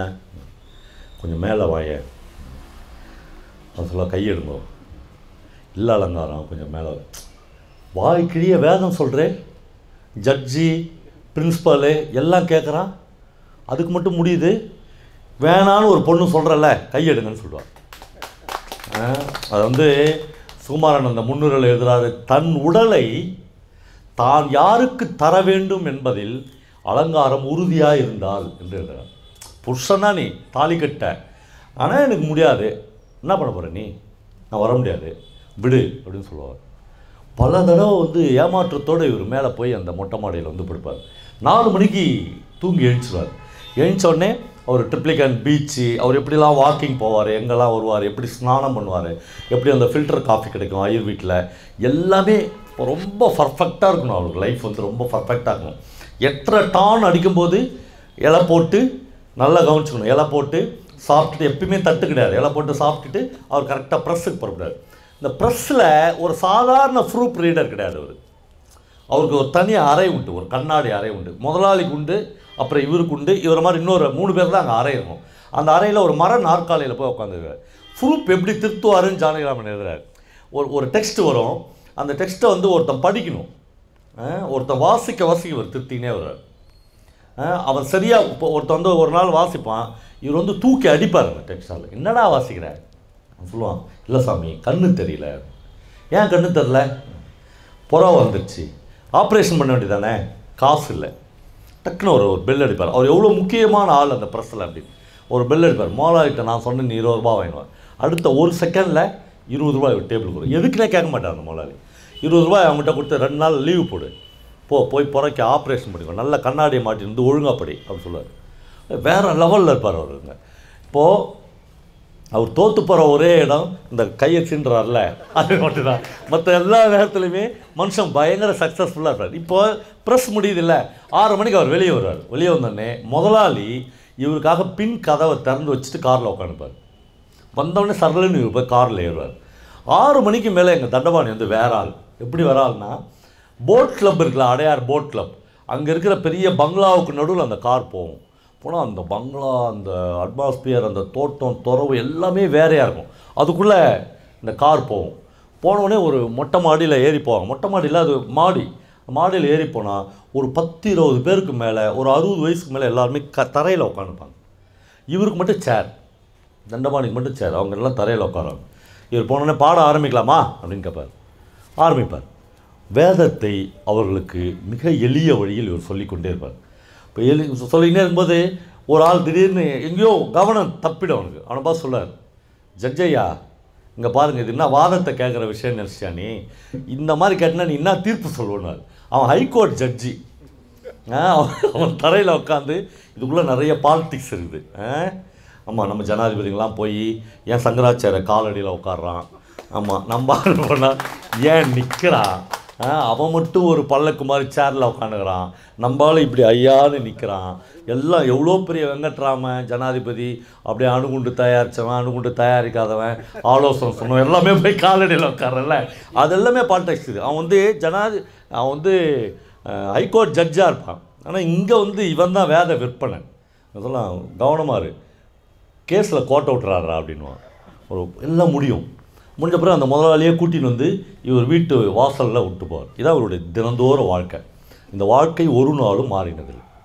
அப்படி இந்த இந்த லைஃப் வந்து போயிடுது. இப்போ இந்த வீட்டை நோக்கித்தான் தஞ்சாவூரிலிருந்து அந்த ட்ரெயினில் அப்பு வந்து கொண்டே இருக்கிறாங்க இந்த வீட்டோட அட்மாஸ்பியர் இப்படியாக இருந்து கொண்டே இருக்கிறது. இப்படி வரும்போது எல்லாரும் வீட்டில் சாப்பிடும்போது கேட்குறாங்க இலை போட்டு இந்த இலை போட்டு அல்லது தட்டு வச்சு சாப்பிட்றப்போ ஒரு வீட்டில் டிஸ்கஷன் நடக்கும் இல்லையா? டிஸ்கஷன் நடக்காத வீடுகளையே நூற்றுக்கணக்கில் இருக்குது. அது என்னென்னா அவன் வந்து சாப்பிட்டு போயிடுவான். ஆமாம் அவன் வந்து இப்போ சாப்பாடு இருக்கும். இவன் சாப்பிட்டு போயிடுவான். ஒரு நாள் சாப்பிட்றதுக்கு வரமாட்டான். எங்கன்னா அவர் செத்துட்டாருன்ட்டுவான் அது முடிஞ்சிடுச்சு. இல்லை எந்த எந்த உரையாடலுமே அந்த டேபிள்லையோ அந்த தரையிலையோ ந நிகழவே நிகழாது. அவன் சாப்பிட்றதுக்காக பிறந்தவன். அவன் சாப்பிடுவான் தூங்குவான். அப்புறம் காலையில் ட காலை கடன் கழிப்பான். ஒரு நாள் செத்துருவான். சுடுகாட்டுக்கு எடுத்து போய் போட்டுருவான் பல வீடுகளில் எனக்கு கமலஹாசன் ஒரு தடவை சொன்னார் எங்கள் வீட்டு டேபிளில் சார் மதியானம் வந்து ஒரு கேமரா வச்சு எடுத்திங்கன்னா அதுவே ஒரு ஃபியூச்சர் ஃபிலிம்ஸ் ஆனார். என்னென்னா அந்த டேபிளில் எல்லா சாப்பாடும் அடுக்கி வச்சுருக்குமா ஒரு பரமக்குடியில் இருக்கும்போது. அவங்க அக்கா அவங்க மூத்த அக்கா இருக்குமா அது சாருகாசன் எல்லாரும் உட்காந்து சாப்பிடுவாங்க. அப்படி ஆரம்பிக்கிறதுக்கு முன்னாடி ஒரு ஹீட் டிஸ்கஷன் ஆரம்பிக்குமா. பெரும்பாலும் அந்த உரையாடல்கள் ஜெயகாந்தனிலிருந்து ஆரம்பிக்கும் என்ற கமலஹாசன் சொன்னார் ஜெயகாந்தன்லேருந்து ஆரம்பிக்கும் பல நாள் நானோ சாருகாசனோ அல்லது எங்கள் அக்காவோ சாப்பிடாம தட்டை வீசி வச்சுட்டு போய்கிறோம்னு சொல்லுவார் அப்போ அந்த உரையாடல்களுக்கு ஏற்ற இடம் வந்து சாப்பாட்டு மேஜை தான். நம்ம வந்து தனித்தனியாக போட்டு சாப்பிட்டு போகிறதில்ல அது வந்து அந்த புதுமைப்பித்தன் சொல்கிற மாதிரி நான் வாழ்கிறோம் என்பது உண்மைதான். ஆனால் வாழ்கிறோமான்னு கேட்பான். ஒரே வேர்டு தான். லிவிங் தான். நம்ம எல்லாரும் வாழ்ந்து கொண்டு தான் இருக்கிறோம். ஆனால் வாழ்ந்து கொண்டு தான் இருக்கிறோமா? அப்படின்னு ஒரு கொஸ்டின் போடுவான். இந்த வீட்டில் சாப்பாட்டு எல்லாம் கேட்பாங்க அப்போ நான் வரேன்னு லெட்டர் போட்டுக்கிறாரு. லெட்டரை எடுத்து வந்து காமிப்பாங்க. நாலு நாளுக்கு முன்னாடி அவன் லெட்டர் போட்டிருப்பான். நாலு நாளாவாட்டி ட்ரெயின் வருது அப்படின்னு அவங்க அப்பா அம்மா கேட்பா அந்த அம்மாவுக்கு வந்து அந்த அப்பு என்கிற புள்ள மேலே அவ்வளவு பிரியம் இருக்கும். அவளுக்கு மொத்தம் ஆறு பசங்க. ம், ஆறு பசங்களில் தண்டபாணிக்கு எத்தனை அப்படின்றதெல்லாம் அப்புறம் சொல்கிறேன் நான். ஆனால் அவளுக்கு வந்து ரொம்ப பிடிச்சமான பிள்ளை வந்து இந்த அப்பு தான் அந்த அப்பு மேலே அப்படியே உசுரையே வச்சுருப்பான் அந்த பிள்ளைய பார்த்துட்டா போதும். அப்படின்னு இந்த கையில் தொட்டோன்னே விடு கை விடு. நான் வேணாம் சொன்னால அந்த அலங்காரம் ஒரு நாள் மாடிக்கு ஏறி வருவாள் ம், இவன் கூட்டு கூட்டு பார்ப்பான். வரமாட்டான்ல. ஆனால் அவளே ஒரு நாள் வருவான். அவளே வந்த உடனே இவன் துடிச்சிருவான். பெரிய வேத விற்பனை ஜட்ஜெல்லாம் அப்படி உட்காருன்றான்ல. அலங்காரத்துக்கு முன்னாடி. ஜாலகிராமம் எழுதுறாரு. அவனுடைய வாழ்க்கையின் லட்சியம் ஒவ்வொரு மனுஷனுக்கு ஒரு லட்சியம் இருக்குல்ல? சார் மெட்ராஸில் வந்து வீடு வாங்கினேன் சார் வரல அந்த மாதிரி வாழ்க்கையின் லட்சியம் இருக்குல்ல? அவனுக்கு என்ன லட்சியம் என்ன தண்டபாணிக்கு என்னைக்காச்சும் ஒரு நாள் இந்த அலங்காரத்தை கட்டி ஆண்டுன்னு நினைப்பான். சொந்த பொண்டாட்டி. முடியாது சார். கூட தான் இருக்கிறா. உன் கூட தான் அப்படி தொட்டுக்கலாம் தான். ஆனால் முடியலையே. அவள் ரொம்ப கராராக இருக்கிறாள். அப்போ அப்படி ஒரு இடத்துல இவன் ஒரு மிட் நைட் மேலே ஏறி வருவான் ஏன்னொன்னே இவன் தண்டவாணி வந்து அப்படியே பிடிச்சி எழுந்து உட்காருவான். என்ன அலங்காரம்? ஒருவேளை மனசு மாறிட்டாலோ? அப்படின்னு என்ன அலங்காரம் அவன் சொல்லுவா? ஒன்றும் இல்லைண்ணா. இந்த அப்புவை பெரிய படிப்பு படிக்க வைக்கணும்னு சொல்லுவான் அவன் சின்ன வயசுல நீ என்ன ஆக போகிற அப்படின்னு கேட்டால் நம்ம சொல்லலை. அவன் எப்போ கேட்டாலும் நான் இன்ஜினியர் ஆக போகிறேன்னுவான் அவன் சொல்லுவான் அவன் விருப்பப்படியே நான் இன்ஜினியர் ஆக்குறான். அண்ணா அதெல்லாம் அற்ப படிப்புண்ணா. அதெல்லாம் அற்ப படிப்புண்ணா. இன்ஜினியரு டாக்டரு விஞ்ஞானி அதெல்லாம் வேணாண்ணா. பெரிய படிப்புண்ணா. எனக்கு புரியலையே வேத விற்பனருக்கே புரியல. எனக்கு புரியலையே. அவர் சொல்லுவார் இதெல்லாம் வந்து செத்த படிப்புண்ணா. உயிருள்ள ஒரு படிப்பு என் பிள்ளைக்கு வேணும்னான்னு கேட்பா அதுனா என் பிள்ளை வேதம் படிக்கணுண்ணா ஒரு வேத பாடசாலையில் போய் சேர்த்துட்டு வரையா அப்படிங்கப்பா. இவனால் அலங்காரத்துடைய ஒரு சொல்லையும் மீறவே முடியாது. நோ டிஸ்கஷன் அவள் வந்து ஆர்டர் தான். அந்த க அந்த நாவல் முழுக்க அலங்காரம் இவனுக்கு மட்டும் இல்லை தண்டவாணிக்கு மட்டும் இல்லை. அந்த நாவலில் வருகிற எல்லாருக்குமே ஒரு ஆர்டர் தான் ஒரு சொல் தான். அவ்வளோதான் எல்- யாருமே டிஸ்கஷனே கிடையாது மீறலே கிடையாது. அ- அப்படி ஒரு இடத்துல அவன் வச்சுருப்பான். எவ்வளவு அந்த உருவத்துக்கு ஏற்ற ஆளுமையும் கம்பீரமும் அவளுக்கு இருக்குன்னு பாருங்க. அப்படி அப்படி இருப்பா. என் பிள்ளைய போய் வேத பாடசாலைக்கு சேர்த்துட்டு வா. அவன் திரும்பி வரும்போது ஒரு மகா புருஷனாக வெளியே வரணும். அவன் திரும்பி வருகிற போது அவன் இந்த வேதங்களை எல்லாம் கரைத்து குடித்த ஒரு ஞானியாக வர வேண்டும். அந்த இடத்துல ஒரு வரி இருக்குது. என் பாவங்களை எல்லாம் அவன் காலடியில் வைத்து அப்படியே நான் பொசுங்கி விட வேண்டும் என்று அலங்காரத்தம்மல் நினைத்தான். என்ன பாவம்? அதெல்லாம் நான் இந்த நாவலின் பின்னால் சொல்கிறேன் அவளுக்கான ஒரு ஒரு ஒரு வடிகால் தேவைப்படும். இந்த இடத்துல நம்ம பிள்ளைய படிக்க வைக்கணும். அப்படி போனவன் தான் அந்த அப்பு. இப்போ அவன் திரும்பி வரான். இப்போ எல்லோரும் சாப்பிட்டுனேங்கிறாங்க காலையில் ஒரு ஏழரை மணி இருக்கும். ஒரு ஒரு பெரிய ஃப்ளைமவுத் கார் அந்த வீட்டின் முன்னால் வந்து நிற்கிறது. அந்த ஃப்ளைமவுத் கார்லேருந்து ஒருத்தர் இறங்கி வராரு. வந்தோடனே ரொம்ப உரிமையாக போய் அந்த ஊஞ்சலில் உட்கார்றாரு. ம மண்ணி உட்காந்தால மாட்டு பொண்ணு உட்காந்தால அந்த ஊஞ்சல் அது. அதில் போய் உட்கார்றாரு. உடனே தண்டபாணி அப்போ தான் வாக்கிங்லாம் முடிச்சுட்டு வர்றார். வாங்க சார் அப்படின்னு சொல்கிறாரு அந்த ஆளை பார்த்து வாங்க சார் அப்படின்னு ஒன்றும் இல்லை ஊட்டிக்கு போயிருந்தேண்ணா. அங்கே வந்து நல்ல வெஜிடபிள்ஸ் ஃப்ரெஷ்ஷாக கிடச்சிச்சு. மண்ணி கொடுத்துட்டு போகலான்னு வந்தேன் அப்படின்னு சொல்கிறாரு இப்போ அவர் வந்து வீட்டுக்கு எல்லாருக்கும் காய்கறிகளை எடுத்து உள்ளே வைக்கிறாங்க. மன்னி என்று சொல்லுகிற அலங்காரத்தம்மாள் அந்த ஊஞ்சலுக்கு சற்று தள்ளி நிற்கிற ஒரு கல் தூணில் சாய்ந்து கொண்டே அவன் முன்னால் நிற்கிறாள். அந்த காட்சி வந்து அவன் வேற ஆள் அவன் பேர் சிவசு. அவனுக்கு ஒரு நாற்பத்தெட்டு வயசு. ஆனால் யாருமே முப்பது வயசு அப்படின்னு தான் அவனை மதிப்பிடுவாங்க. அவ்வளவு தேஜஸ் அந்த உடம்புல இருக்குது அது வந்து பணக்கார தேஜஸ். அவனுக்கு வந்து ரெண்டு மூணு ஸ்கூல் இருக்குது அவனுக்கு வந்து கிட்டத்தட்ட முந்நூறு வேலி நிலம் இருக்குது தஞ்சாவூரில். அவனுக்கு வந்து இத்தனை ஷேர் இருக்குது. அப்படியே ஒரு மிக பணக்கார ஒருத்தன். இந்த வீட்டுக்கு ஏசா வந்தான். அப்படியே வந்து உட்காடுறான் அவன் முன்னால் அலங்காரத்தம்மாள் ஒரு பொட்டி பாம்பு மாதிரி நிற்கிறாள் ஆனால் அங்கேயும் கூட அவருடைய ஆளுமையெல்லாம் விட்டலை. அதே கம்பீரத்தோடு அதே திமிரோடு அதே அகங்காரத்தோடு அப்படி நிற்கிறாள் இவன் அவளையே பார்த்து கொண்டு இருக்கிறான் இவங்க ரெண்டு பேரும் பார்த்து கொண்டிருப்பதை பார்த்துவிட்டு ஸ்நானம் பண்ணுவதற்காக எங்கள் தண்டபாணி அமைதியாக.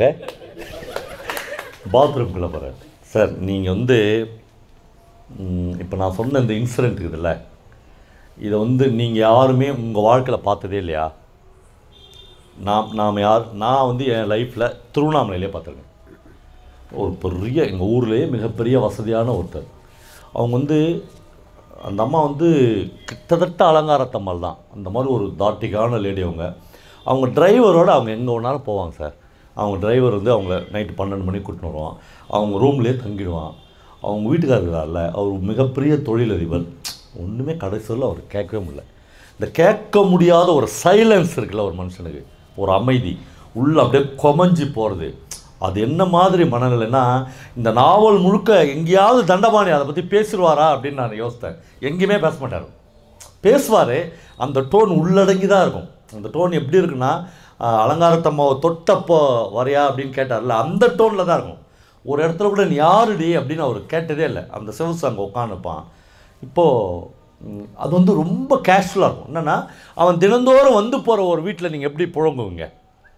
அது உங்களுக்கு அந்நியமாகவே இல்லை. அப்படியே வந்து உட்காருவீங்க தண்ணி எடுடுவீங்க அந்த பசங்க வாங்க சார் அப்படின்னு எல்லா பசங்களுமே கேட்கும். இந்த காயத்ரின்ற அந்த சின்ன பொண்ணு கேட்பா. அந்த மண்ணி இருக்கால்ல அவங்க வீட்டு மாட்டுப்பண்ணு மாட்டு மருமக. அவள் எதுவுமே இல்லாமல் சைலண்ட்டாக கிச்சனுக்குள்ளே போயிடுவாள் இது வந்து வாடிக்கை. சாப்பிட்டு முடிக்கிற போது ஒரு ஆட்டோ ஒரு ஒரு ரிக்ஷா வந்து நிற்கும் எல்லாரும் ரிக்ஷா வந்த இடத்த திரும்பி பார்ப்பாங்க. அப்படியே எஸ் குடுமி போட்டு ஆளுடைய உயரத்தில் அப்படியே கம்பீரமாக அப்பு இறங்கி வருவான். அப்பு அப்படின்னு ஓடுவா அவங்க அம்மா வந்து. அவ்வளோ பிரியம் வச்சுருப்பான் அவனும் அம்மா அம்மான்னு அவ்வளோ பிரியம் வச்சுருந்தான். இப்போ அவன் போய் அம்மா அம்மாட்ட அப்படியே விழுந்து நமஸ்காரம் பண்ணிவிட்டு இப்படி பார்ப்பான். இந்த ஊஞ்சலில் ஒருத்த உட்காந்துக்கிறான்ல அவன் வந்து இவனுடைய பெரிய அண்ணன் நினச்சிக்குவான். என்னடா மீசை எப்போ எடுத்தேன்னு கேட்பான். புரியுதா உங்களுக்கு? ஆ? என்னடா மீசை எப்போ எடுத்தேன்னு கேட்பான். எல்- எல்லாரும் அவனை திரும்பி பார்ப்பாங்க. பெரிய அண்ணன் இல்லை சார் சிவசு சார் அவர். பெரிய அண்ணன் காலேஜுக்கு டை கட்டின்னு போயிட்டாரு. இவன் சிவசு சார். பயங்கர வந்து ஒன்றும் ஷாக்லாம் ஆக மாட்டான் அவன். வாங்க சார் எப்படி இருக்கீங்கன்னு கேட்பான் இவனுக்கும் அவரை தெரியும். அப்படின்னா என்ன அர்த்தம்? அப்பு சின்ன பையனா ஏழு வயசில் எஸ் குடுமி போட்டும் போனான்ல அப்போ வர ஆரம்பிச்சிச்சு இந்த நாய். இன்னும் இவன் பெரிய ஆளாக வரல. இன்னுமே அங்கே தான் அதே ஊஞ்சலில் தான் உட்காந்து பல நுட்பங்களை ஒரு ஒரு நுட்பமான வாசகன் பின்தொடர்ந்து ஜானகிராமனை பின்தொடர்ந்துனே போனால் கண்டுபிடிச்சலாம் இப்போ எல்லாமே அது அது கேஷுவலாக நடக்குதா? சரி மண்ணி நான் வரேன்னு அந்த அலங்காரத்தம்மா சொல்லுவா அவரை நமஸ்காரம் பண்ணிக்கோ. அவன் வந்து கீழே விழுந்து அவன் பதறிடுவான். அப்போ அப்போ இது என்னடா நீ எவ்வளோ படித்தவன் நீ எவ்வளோ வேதங்களை அதெல்லாம் இல்லை நமஸ்காரம் பண்ணுவேன் நல்லா போயிடும் எல்லாம் முடிஞ்சிருச்சா? முடிஞ்ச உடனே நீ போய் ரெஸ்ட் எடுத்துக்கோ. படுத்து தூங்கு. எல்லாம் பயணம் களைப்பாக இருக்கும். வீடே காலி ஆகிடும் தண்டபாணி ப்ரூப் திருத்த போயிடுவார். ஒரு பையன் சீட்டு விளையாட போயிடுவான். ஒரு பையன் ஸ்கூலுக்கு போயிடுவான். அவர் ப்ரொஃபஸர் போயிடுவார். மாட்டு பொண்ணு மட்டும் கீழே கிச்சன்லேயே இருப்பாள் இப்போ அப்பு மேலே போயிருப்பான். அப்புவை தேடி கொஞ்சம் கொஞ்சமாக ஸ்டெப் வச்சு அலங்காரத்தம்மாள் வருவாள் அவளுக்கு எந்த கில்ட்டுலாம் கிடையாது இல்லை அவள் இந்த நாவலின் எந்த இடத்திலும் அவளுக்கு ஒரு குற்ற உணர்வு இருக்கும். ஆனால் அதை யார்ட்டையுமே அவள் பு- பிள்ளைங்க எதிரில் இப்போ புருஷன் எதிரில் யார்ட்டையுமே அவள் காமிக்க முடியாது இது என்னுடைய ரைட் அப்படின்ற மாதிரி இருப்பாள் அவள் மேலே ஏறி வருவாள் வந்து அப்போக்கெலாம் இப்போ எந்த சந்தேகமும் இல்லை. இப்போ வந்து இவன் கூட பேசினே இருப்பாள் பெட்ரூமில் வந்து பேசினே இருப்பா. ஒரு பதினொன்றரை பன்னெண்டு மணிக்கு திடீர்னு அந்த சேவ்ஸ் மறுபடியும் வருவான். வந்தோடனே இவனுடைய இந்த வருகை இதில் அது வந்து இவளுக்கு பிடிக்காது. நீ எப்படி சொல்லாத வரலாம் அப்படின்னு அவனை பார்ப்பா. பொசுக்கிற மாதிரி இருக்கும் அந்த பார்வை. அந்த அலங்காரத்தம்மாளுடைய கம்பீரமும் ஆளுமையும் அந்த எதிர்ப்பும் தண்டபாணிக்கு மட்டும் இல்லை சிவசுக்கும் உண்டு. நீ என்ன தான் என்னோட ஃப்ரெண்டாக இருந்தாலும் நீ என்னதான் என்னோட இருக்கிறவனாக இருந்தாலும் எனக்கு நான் நான் தான் எல்லாத்தையும் டிசைட் பண்ண திடீர்னு வந்துடுறான். வந்தோடனே அவன் சொல்கிறான் ஒன்றும் இல்லை மண்ணி காலையில் புள்ள என் காலில் விழுந்து சாஸ்தாங்கமாக வணங்குச்சு. அதுக்கு ஒரு தட்சணை கொடுக்கணும்னு நினச்சேன். காரில் என்னுடைய செக்ரட்டரிக்கிட்ட பர்ஸ் இருந்துச்சு. அதனால் போயிட்டு நான் அந்த பர்ஸை எடுத்துக்கின்னு பழம்லாம் வெத்தலை பார்க்கலாம் வேண்டாம் ஒரு தட்டு கொடுக்கும் தட்டு வேணாம். உன் காசு வேணாம்னு சொல்கிறேன் ஏன் நீ இவ்வளோ உறுதியாக இருக்குங்க அப்படி தான் இருப்பேன். அவன் தட்டை வச்சு கொடுக்கும்போது பழத்தை மட்டும் எடுத்துக்கடா அப்போ காசு வேணாம்னு சொல்கிறான் கடைசி வரலும் சிவசுவாலை ஜெயிக்கவே முடியல. இவ்வளோ இன்டிமேட் தான். ஆனால் அவள் இந்த காசு வேணான்னு நினைக்கிறான் அவள் அவள் உள் மனசு ஒன்று இருக்குதுல்ல அலங்காரத்துக்கு. அதை சொல்லும் என்னடா பெரிய உனக்கு முந்நூறு ஏக்கர் நிலம் முந்நூறு வேலி நிலம் பெரிய ஸ்கூல் கரஸ்பாண்ட்டு அதெல்லாம் ஒன்று வேணாம். உன் பணம் உன்னோட. வேணாம்னு சொல்லுவாள் அந்த இடத்துல ரெஃப்யூஸ் பண்ணுவாள் இப்போது இந்த அப்புவுக்கு லேசாக இப்போ ஒரு சின்ன சந்தேகம் இருந்தது இவன் யார்? இவன் எப்படி அத்துமீறி மேல் மாடி ஏறி வரான்? யாரையும் கேட்காம. இவனை பார்த்தவுடன் அம்மாவின் முகத்தில் ஒரு புது ரத்த முகத்தில் ஏறுகிறே அது எப்படி? அம்மா நாணப்படுகிறாளே. அப்பா கிட்ட கூட அப்படி நாணப்படுதில்லை இது எப்படி? இந்து சொன்னால பெரிய தொட்டுட்ட எங்கள் அம்மாவை தொடர்பான மாதிரி உங்கள் அம்மா என்ன யோகியமாடான்னு கேட்டால அந்த வார்த்தை எதிரொலிக்கிறது. இவன் பயங்கர டிஸ்டர்ப் ஆகிறான். இப்போ இந்த வீட்டுக்குள்ளாக ஜானகிராமன் கிட்டத்தட்ட ரெண்டு பக்கத்தில் சத்தங்களை பற்றி மட்டும் எழுதுகிறார். இரைச்சல் இரைச்சல் இரைச்சல் என்று எழுதி கொண்டே இருக்கிறார். இந்த வீட்டில் அவன் படுகிறான் மேல் மாடியில் படுக்கும்போது பேருந்து இரைச்சல் லாரி இரைச்சல் ரிக்ஷா இரைச்சல் கடல் இரைச்சல் எல்லாமே இரைச்சலாக இவன் காதுகளில் ஒழித்து கொண்டே இருக்கிறது. ஏனென்றால் இரைச்சலே இல்லாத ஒரு வேத பாடசாலையில் பதினாறு ஆண்டு காலத்தை கழித்தவன் அப்பு. அவனுக்கு இந்த வீடு இரைச்சலாக இருக்கிறது. இங்கே இருக்கிற மனிதர்கள் இரைச்சலாக இருக்கிறார்கள். அம்மா இறைச்சலாக இருக்கிறார். அப்பா மீது அம்மா மீது வருகிறதை விட நூறு மடங்கு கோபம் வருகிறது அவனுக்கு. அவன் வந்து அதெல்லாம் வெளியே சொல்ல ஆனால் மனதுக்குள் குமையறான். என்னடா அப்பா நீ? ஒரு பொண்டாட்டி இப்படி போகிறா அவளை கேட்க வக்கு இல்லை அவனுக்கு. என்னத்துக்கு நீ பெரிய வேதம் சொல்லி கொடுக்குற எதுக்கு நீ போய் ஜட்ஜையும் பிரின்ஸ்பலையும் தரையில் உட்கார வச்சு நீ பெரிய மேதன்னு காமிக்கிற? நீ என்ன ஆகிருக்கணும் காசிக்கு போயிருக்கணும் நாம நீ? அப்படியே இந்த வீட்டை உதறி தள்ளிட்டு ஒரு வேஷ்டி கிழிச்சு கோமணம் கட்டிக்கின்னு காசிக்கு போயிருக்க வேணாமா இல்லைனா செத்து தொலைச்சிருக்க வேணாமா இல்லைனா அவளை வேற எங்கேயாவது அனுப்பிச்சிருக்க வேணாமா எதுவுமே இல்லாமல் நீ வந்து ஒரு நடைபிடமாக ஒரு பெரிய கம்பீரமான பிராமணனாக அப்படி வெளியே வேஷம் கட்டுற யார்ரா நீ? இதெல்லாம் வார்த்தைகளாக அப்புவுக்கு வாயில் வரவில்லை மனதால் ஓடிக்கொண்டே இருக்குது. அப்பாட்ட ஒரு வார்த்தை இதை பற்றி பேசவே இல்லை. அப்போ அப்படியே வீடே வீடு ரொம்ப கேஷுவலாக தான் இருக்குது. ஆனால் இவன் ஒவ்வொருத்தர் முகத்தையும் பார்க்குறான். இந்த இந்த இந்த- இந்த தங்கச்சிங்க இந்த அண்ணன் இந்த மா இந்த மாட்டு பொண்ணு இவங்க எல்லாரும் எப்படி அது இதை இயல்பாக எடுத்துக்கிறாங்க? இது எப்படி ஒரு வீட்டில் இயல்பாக நடக்குது? இந்த சமூகமே இது வெளியவே தெரியாதா? யாருக்குமே இது என்- எனக்கு வந்த இந்த குமைச்சல் இருக்குதுல்ல இந்த குமைச்சல் ஏன் இந்த வீட்டில் யாருக்குமே வரலையா? அவன் இரைச்சல் இரைச்சல் இரைச்சல். அவன் வெளியேறுகிறான். அப்படியே மெரினா பீச் போகிறான் அங்கே போகிறான் அங்கே போகிறான் அவங்க அப்பாவை பார்த்து அவங்க அம்மாவுக்கு வந்து இப்போ அப்புவை மேலே கொண்டு வரணும். அதான் அவருடைய வாழ்க்கையினுடைய ஒரே லட்சியமாகுது. அவள் சொல்கிறா அப்போ இவ்வளோ படிச்சுட்டு வந்துட்டுறா வேத விற்பனைனா இருந்தாலும் காசு இருந்தால் அந்த சமூகம் புரியும். அவங்க அப்பாட்ட கேட்குறா இவனை நம்ம என்ன பண்ண போகிறோம் அவங்க அப்பா சொல்கிறாரு அடுத்த ஒன்றாம் தேதி உன் கையில் அவன் இரநூறுபா கொடுப்பாண்டி இரநூறுபான்றது மிகப்பெரிய சம்பளம். இரநூறுபா கொடுப்பாண்டி அப்படின்னு சொல்கிறான் இரநூறுபா கொடுப்பான் அப்படின்னு எப்படின்னு கேட்குறான் அவன் சொல்கிறான் அப்பாட்ட அந்த அப்போ அப்போ அப்பக்கிட்ட அப்பா சொல்கிறாரு சாயங்காலம் என்னை ஆஃபீஸ் வந்து பார் அப்போ நாலரை மணிக்குன்னு சொல்கிறார் அப்படியே போகுது. இவன் போய் வேதம் படிப்பிச்சால அந்த போஸ்ட்டுக்கு அப்பு போயிடுறான். என்னை விட ஜீனியஸ் என்னை விட வேதத்தின் எந்த பகுதியும் அப்படியே எடுத்து சொல்லக்கூடிய என் பையன். அவன் போய் அங்கே செட்டில் ஆயிடுறான். ஆனால் லௌகிக வாழ்க்கை ஒரு மனிதனின் ஆன்ம இரைச்சலை அமைதியாக்கி விடும்னு நீங்கள் நம்புறீங்களா நண்பர்களே? உங்களுக்குள்ளே இருக்கிற இந்த மிகப்பெரிய அலைச்சலை இந்த குமைச்சலை ஒரு காசு பணம் வந்து சரியாக்கிடும் அப்படின்னு நினச்சோம்னா நம்மள மாதிரி முட்டாள்கள் இந்த உலகத்தில் யாருமே கிடையாது. அதெல்லாம் இல்லை. அவன் உள்ளுக்குள்ளே புழுங்கி கொண்டே இருப்பான். அவன் உள்ளுக்குள்ளே தகித்து கொண்டே இருப்பான். அவனால் சகிச்சிக்கவே முடியாது இந்த வாழ்க்கையை. இது என்னடா லைஃபு எங்கடா இருக்கிறோம்? இந்த வீடு யாருது?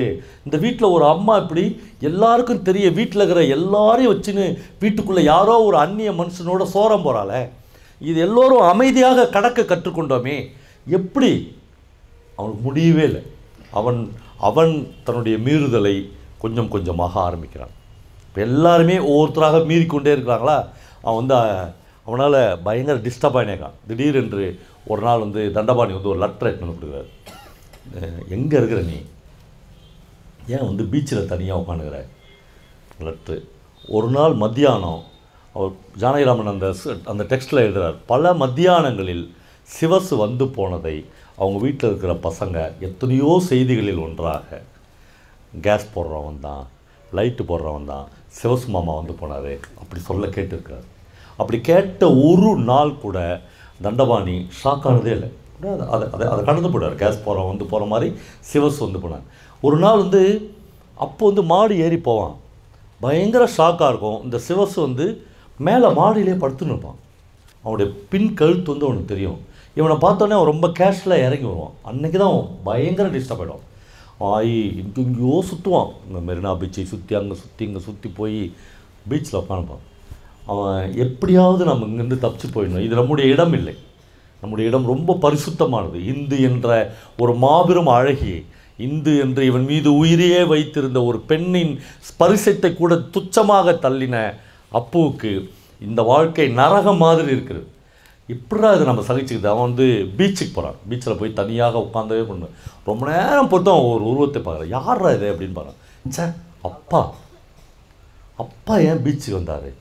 அப்பா வந்து கேட்குறாரு அப்பு நீ இங்கே தான் இருக்கிறியாடா? நீ காணான்னு வீட்டில் அம்மா ஒரே அமக்கலம் பண்ணுறா தெருவுக்கும் வீட்டுக்குமா அலையிறா.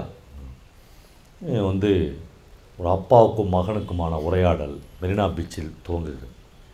வந்து ரொம்ப ரொம்ப நான் கூட நினச்சேன் இது ஒரு மாதிரி நிறைய டயலாக் எழுதி ஒரு மாதிரி செயற்கையாக அப்படிலாம் இல்லை ரொம்ப கேஷுவலாக தான் அவன் ஆரம்பிப்பான். அந்த சிவசு ஏன்பா நம்ம வீட்டுக்கு வந்து போகிறான் அப்படின்னு அவன் யார்? அம்மா உன்னை தேடுறா. இல்லை இல்லை அம்மா தேட்டோம். இந்த சிவசு அங்கே வரான். அப்படியே அந்த அந்த அந்த உரையாடல் வந்து நீ ஏன் இதை கடந்து போகிறேன்னு கேட்பான் அவன். அவ்வளோதான் ரொம்பலாம் இல்லை. நீ ஏன் இதை வந்து எப்படி நீ இதை இதை கடக்க கற்றுக்கினேன் வாழ்க்கை எனக்கு கடக்க சொல்லி கற்றுக் கொடுக்கறது மகனேன்னு சொல்லுவாங்க வாழ்க்கை எனக்கு கடக்க சொல்லி கற்றுக் கொடுக்குறது. அந்த உரையாடல் முடி நிறைவே பெறாது. அந்த உரையாடல் முடிவே பெறாது. அந்த உரையாடலுக்கு முற்றுப்புள்ளியே இருவராலும் வைக்க முடியாது. அவர்கள் முற்றுப்புள்ளி வைக்காமலேயே மறுபடியும் திரும்பி அதே இரைச்சலோடும் அதே குமைச்சலோடும் ட்ரிப்ளிகேனின் பார்த்தசாரதிக்கு கோவிலுக்கு பின்னால் இருக்கிற அந்த ஒன்று குடித்தனத்துக்குள் நுழைவாங்க அம்மா வந்து எங்கடா போன அப்பு? அப்படின்னு அழுவார்.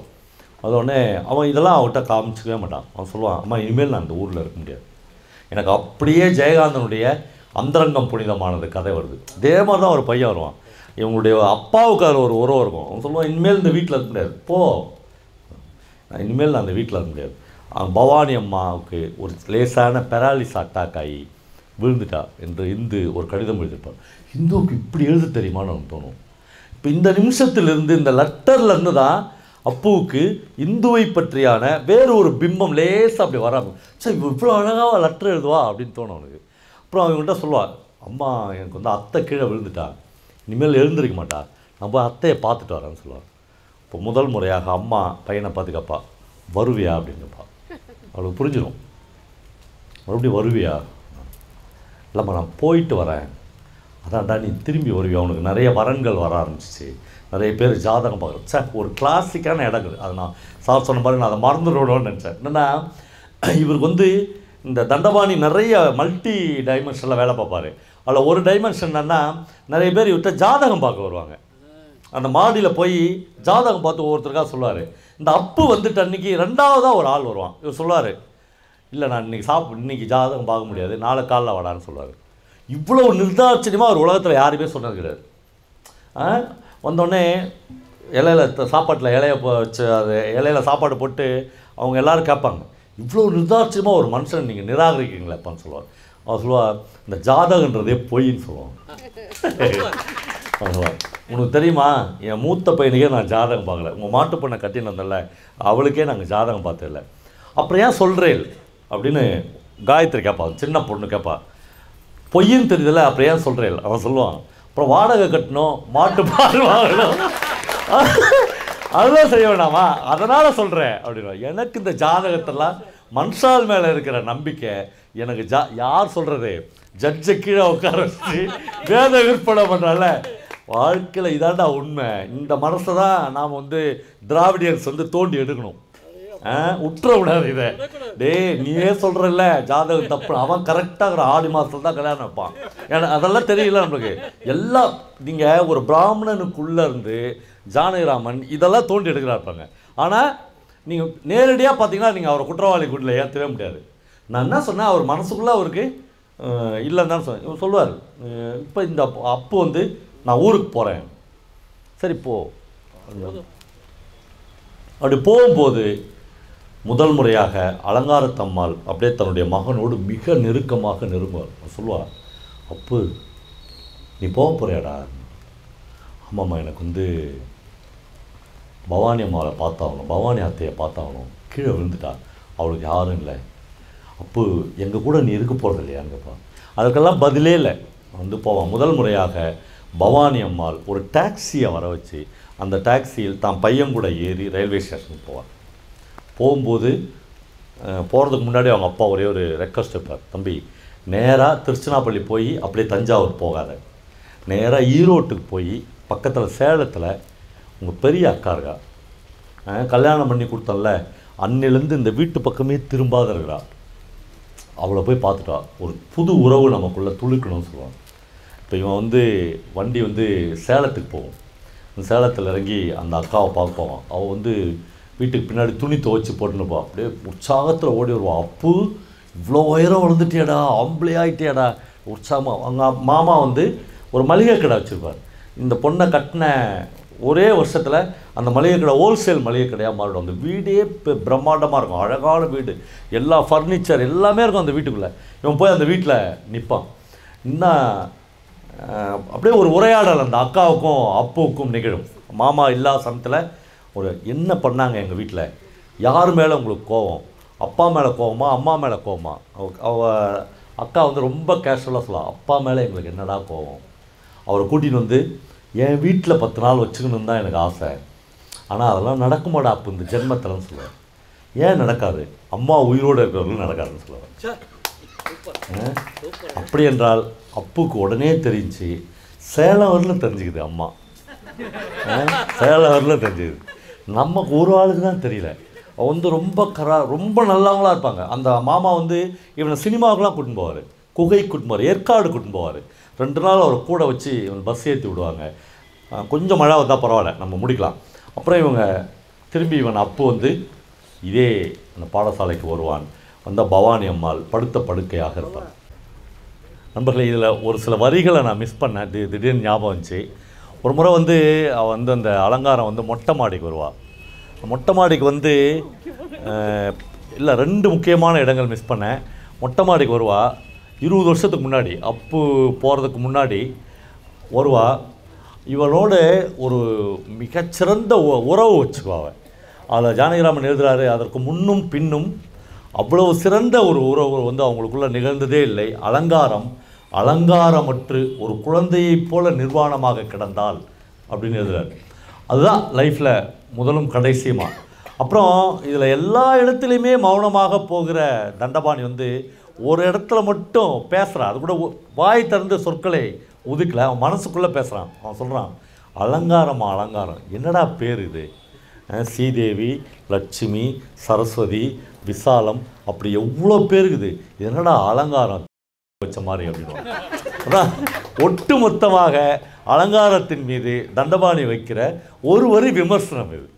இந்த அப்பு வந்து வீட்டில் இருக்கும்போது திடீர்னு அவளுக்கு அவனுக்கு வந்து நிறைய வரன்கள் பார்க்க ஆரம்பிச்சிருவாங்க.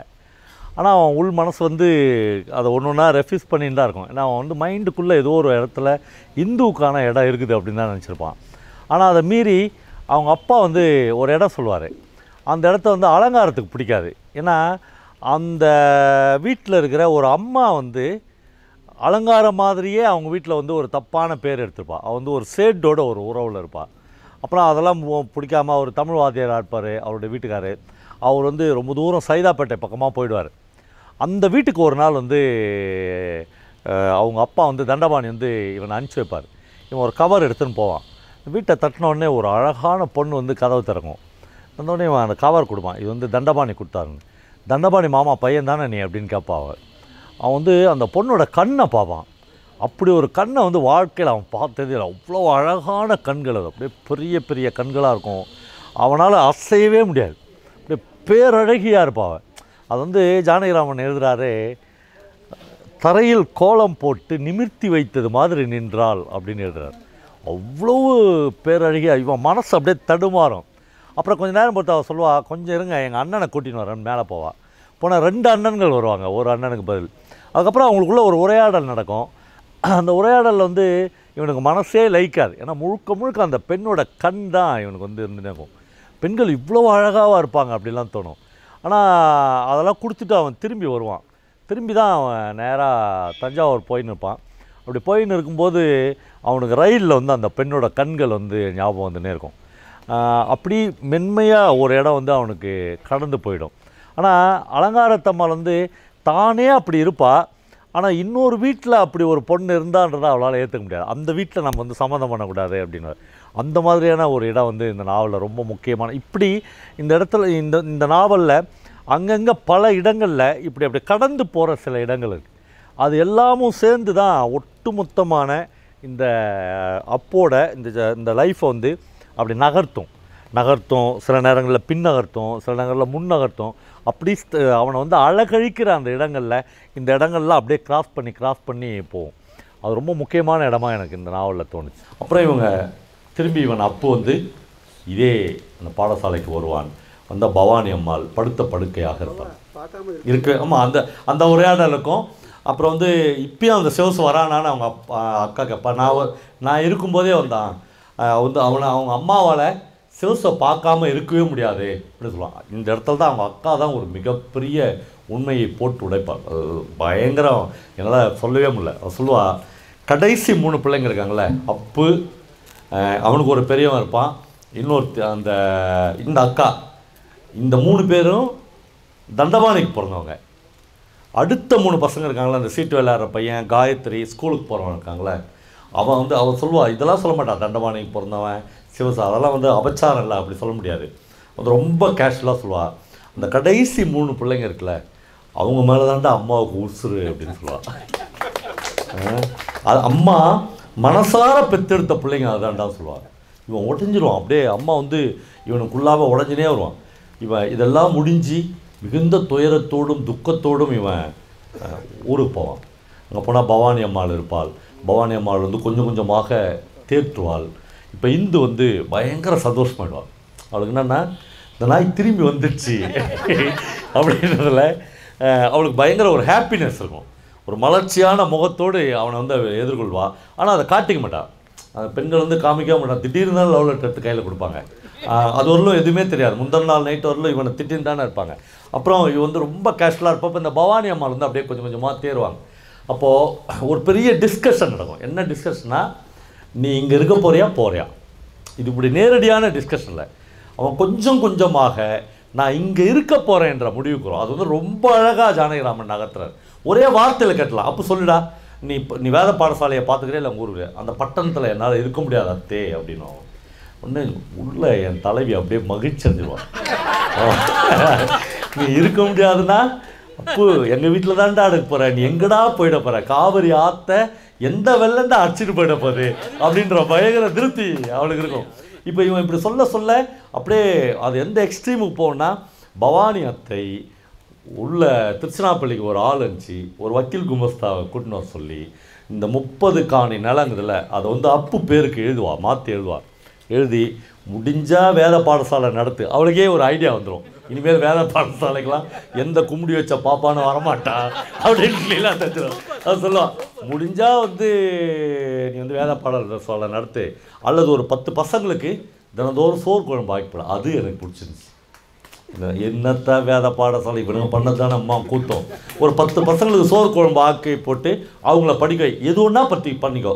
உன் விஷயம். இந்துக்கு ஒரு அஞ்சு ஏக்கர். அவள் அவள் அவள் ஜீவனத்துக்கு. இது இப்போது இதில் வந்து செட்டில் ஆகுறான்.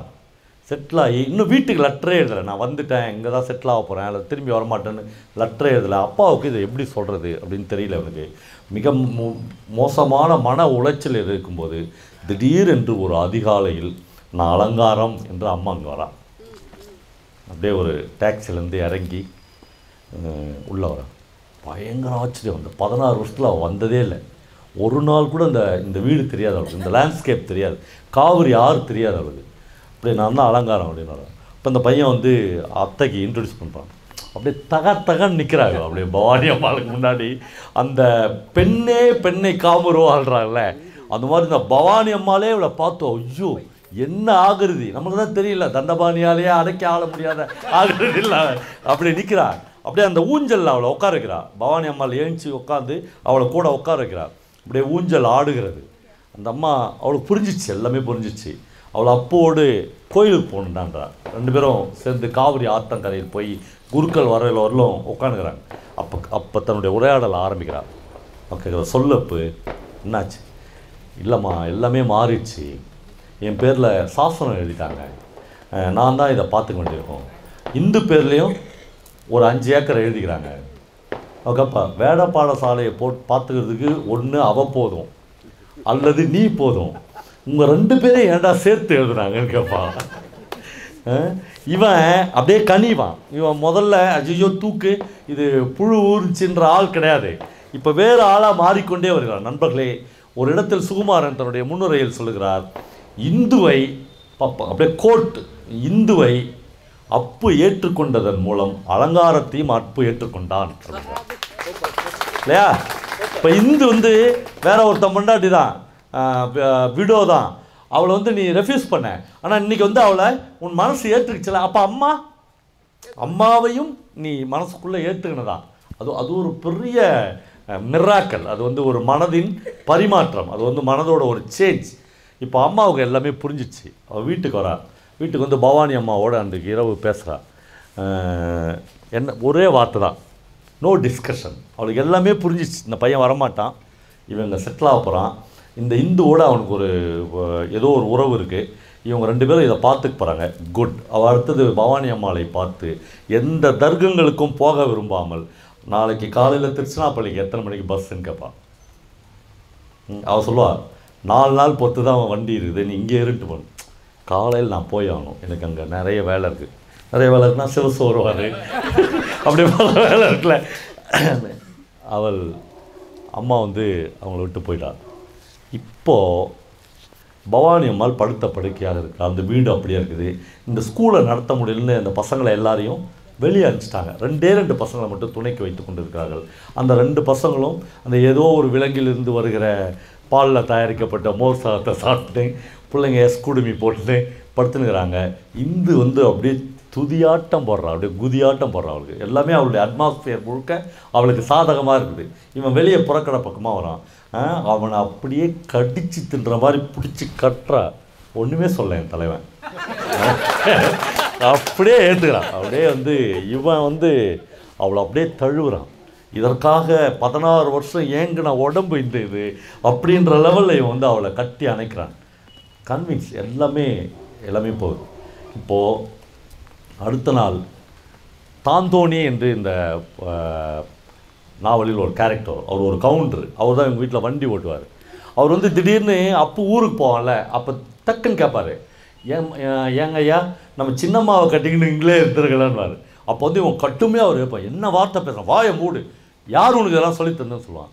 இப்போது அந்த தாந்தோணியின் மகன் வந்து அம்மாவை கூட்டின்னு போகிறதுக்காக நிற்பான் அவனுக்கு கண் ஆப்ரேஷன் ஆகிருக்கும் அதனால் அவன் வர முடியாது. இப்போ தாந்தோணியின் மகன் வந்திருப்பான். அம்மாவோடு இவன் வந்து ரயில்வே ஸ்டேஷனுக்கு போவான். ஒரு சின்ன உரையாடல். அங்கே அலங்காரத்துக்கும் அப்போவுக்கும் நடக்கும். ரொம்ப பியூட்டிஃபுல் உரையாடல். இந்த ரயில்வே ஸ்டேஷனில் யாருமே இருக்க மாட்டாங்க. நாலஞ்சு பேசஞ்சர்ஸ் மட்டும்தான் இருப்பாங்க. உட்காந்து அப்போடு மடை மனம் திறந்து பேசுவாள் தன் தன்னை பிச்சு வைக்கிறதுன்னு ஒன்று இருக்குதுல்ல சார். நான் இருந்தேன். என் கூடயே வந்தேன் நான் விரும்பியாக இருந்தேன். எனக்கு அதுக்கு ஆயிரம் கார் அதை வந்து நீங்கள் யாருமே இந்த உலகத்தில் வந்து சொல்லவே முடியாது. ஏன் சார் ஒரு புருஷனுக்கு துரோகம் பண்ணுறா அப்படிலாம் நீங்கள் கேட்டிங்கன்னா என்னால் என்கிட்ட அதுக்கு பதிலாம் இல்லை. முதல்ல இந்த வார இதுக்கு வந்து துரோகனே பேர் கிடையாது. உண்மையிலே இதெல்லாம் நம் நம்மளை பயமுறுத்துறதுக்கு சமூகம் நம்ம மேலே போர்த்தி வச்சுக்கிற போர்வைகள் தான்.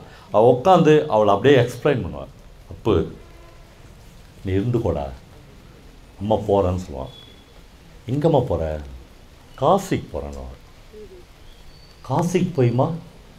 பல பல நடுத்தர வயது பெண்கள் காசிக்கு போய் கிழவியாகி தாண்டா காசியில் சாவுறாங்க. அதில் ஒருத்தியாக நான் இருப்பேன்டா சொல்கிறேன் அம்மா நீ இல்லாத அப்பாவால் இருக்கவே முடியாதும்மா. இருக்க இருக்க முடியாதுதான். ஆனால் நான் இதுவரையிலும் பண்ண பாவங்கள் இருக்குதுல்ல. அதுக்கு என்னை பொசுக்கிக்க வேணாமா? நீ வந்து அப்படியே தீயாக என் முன்னாடி வந்து நிற்ப வேதம் படிச்சுட்டு உன் காலில் விழுந்து அப்படியே உன் முன்னாடி சாம்பல் ஆயின்னு நான் நினச்சேன்டா. அதெல்லாம் நடக்காத போச்சு. நான் காசிக்கு போகிறேன் என்று ரயில் புறப்படும் வரை அப்பு அம்மாவையே பார்த்து கொண்டிருப்பான். அம்மா ரொம்ப தூரம் வரையில் அப்புவை தன்னுடைய மொத்த அழகான சரீரத்தையும் அந்த ரயில் பெட்டிக்கு வெளியே நீட்டி அவனுக்கு ஒரு டாட்டா காமிச்சு கொண்டே போவாள். ஒருவேளை அவள் காசிக்கு போகலாம் அல்லது சென்னைக்கு போகலாம் ஆனால் ரொம்ப நேரம் நீண்ட நேரம் அப்புவின் மனதை மாதிரியே நாமும் அலங்காரத்தம்மாளுக்காக ஒரு நிமிஷம் மௌனித்து நிற்கிற ஒரு இடத்தை ஜானகிராமன் எழுதியிருப்பார். நன்றி.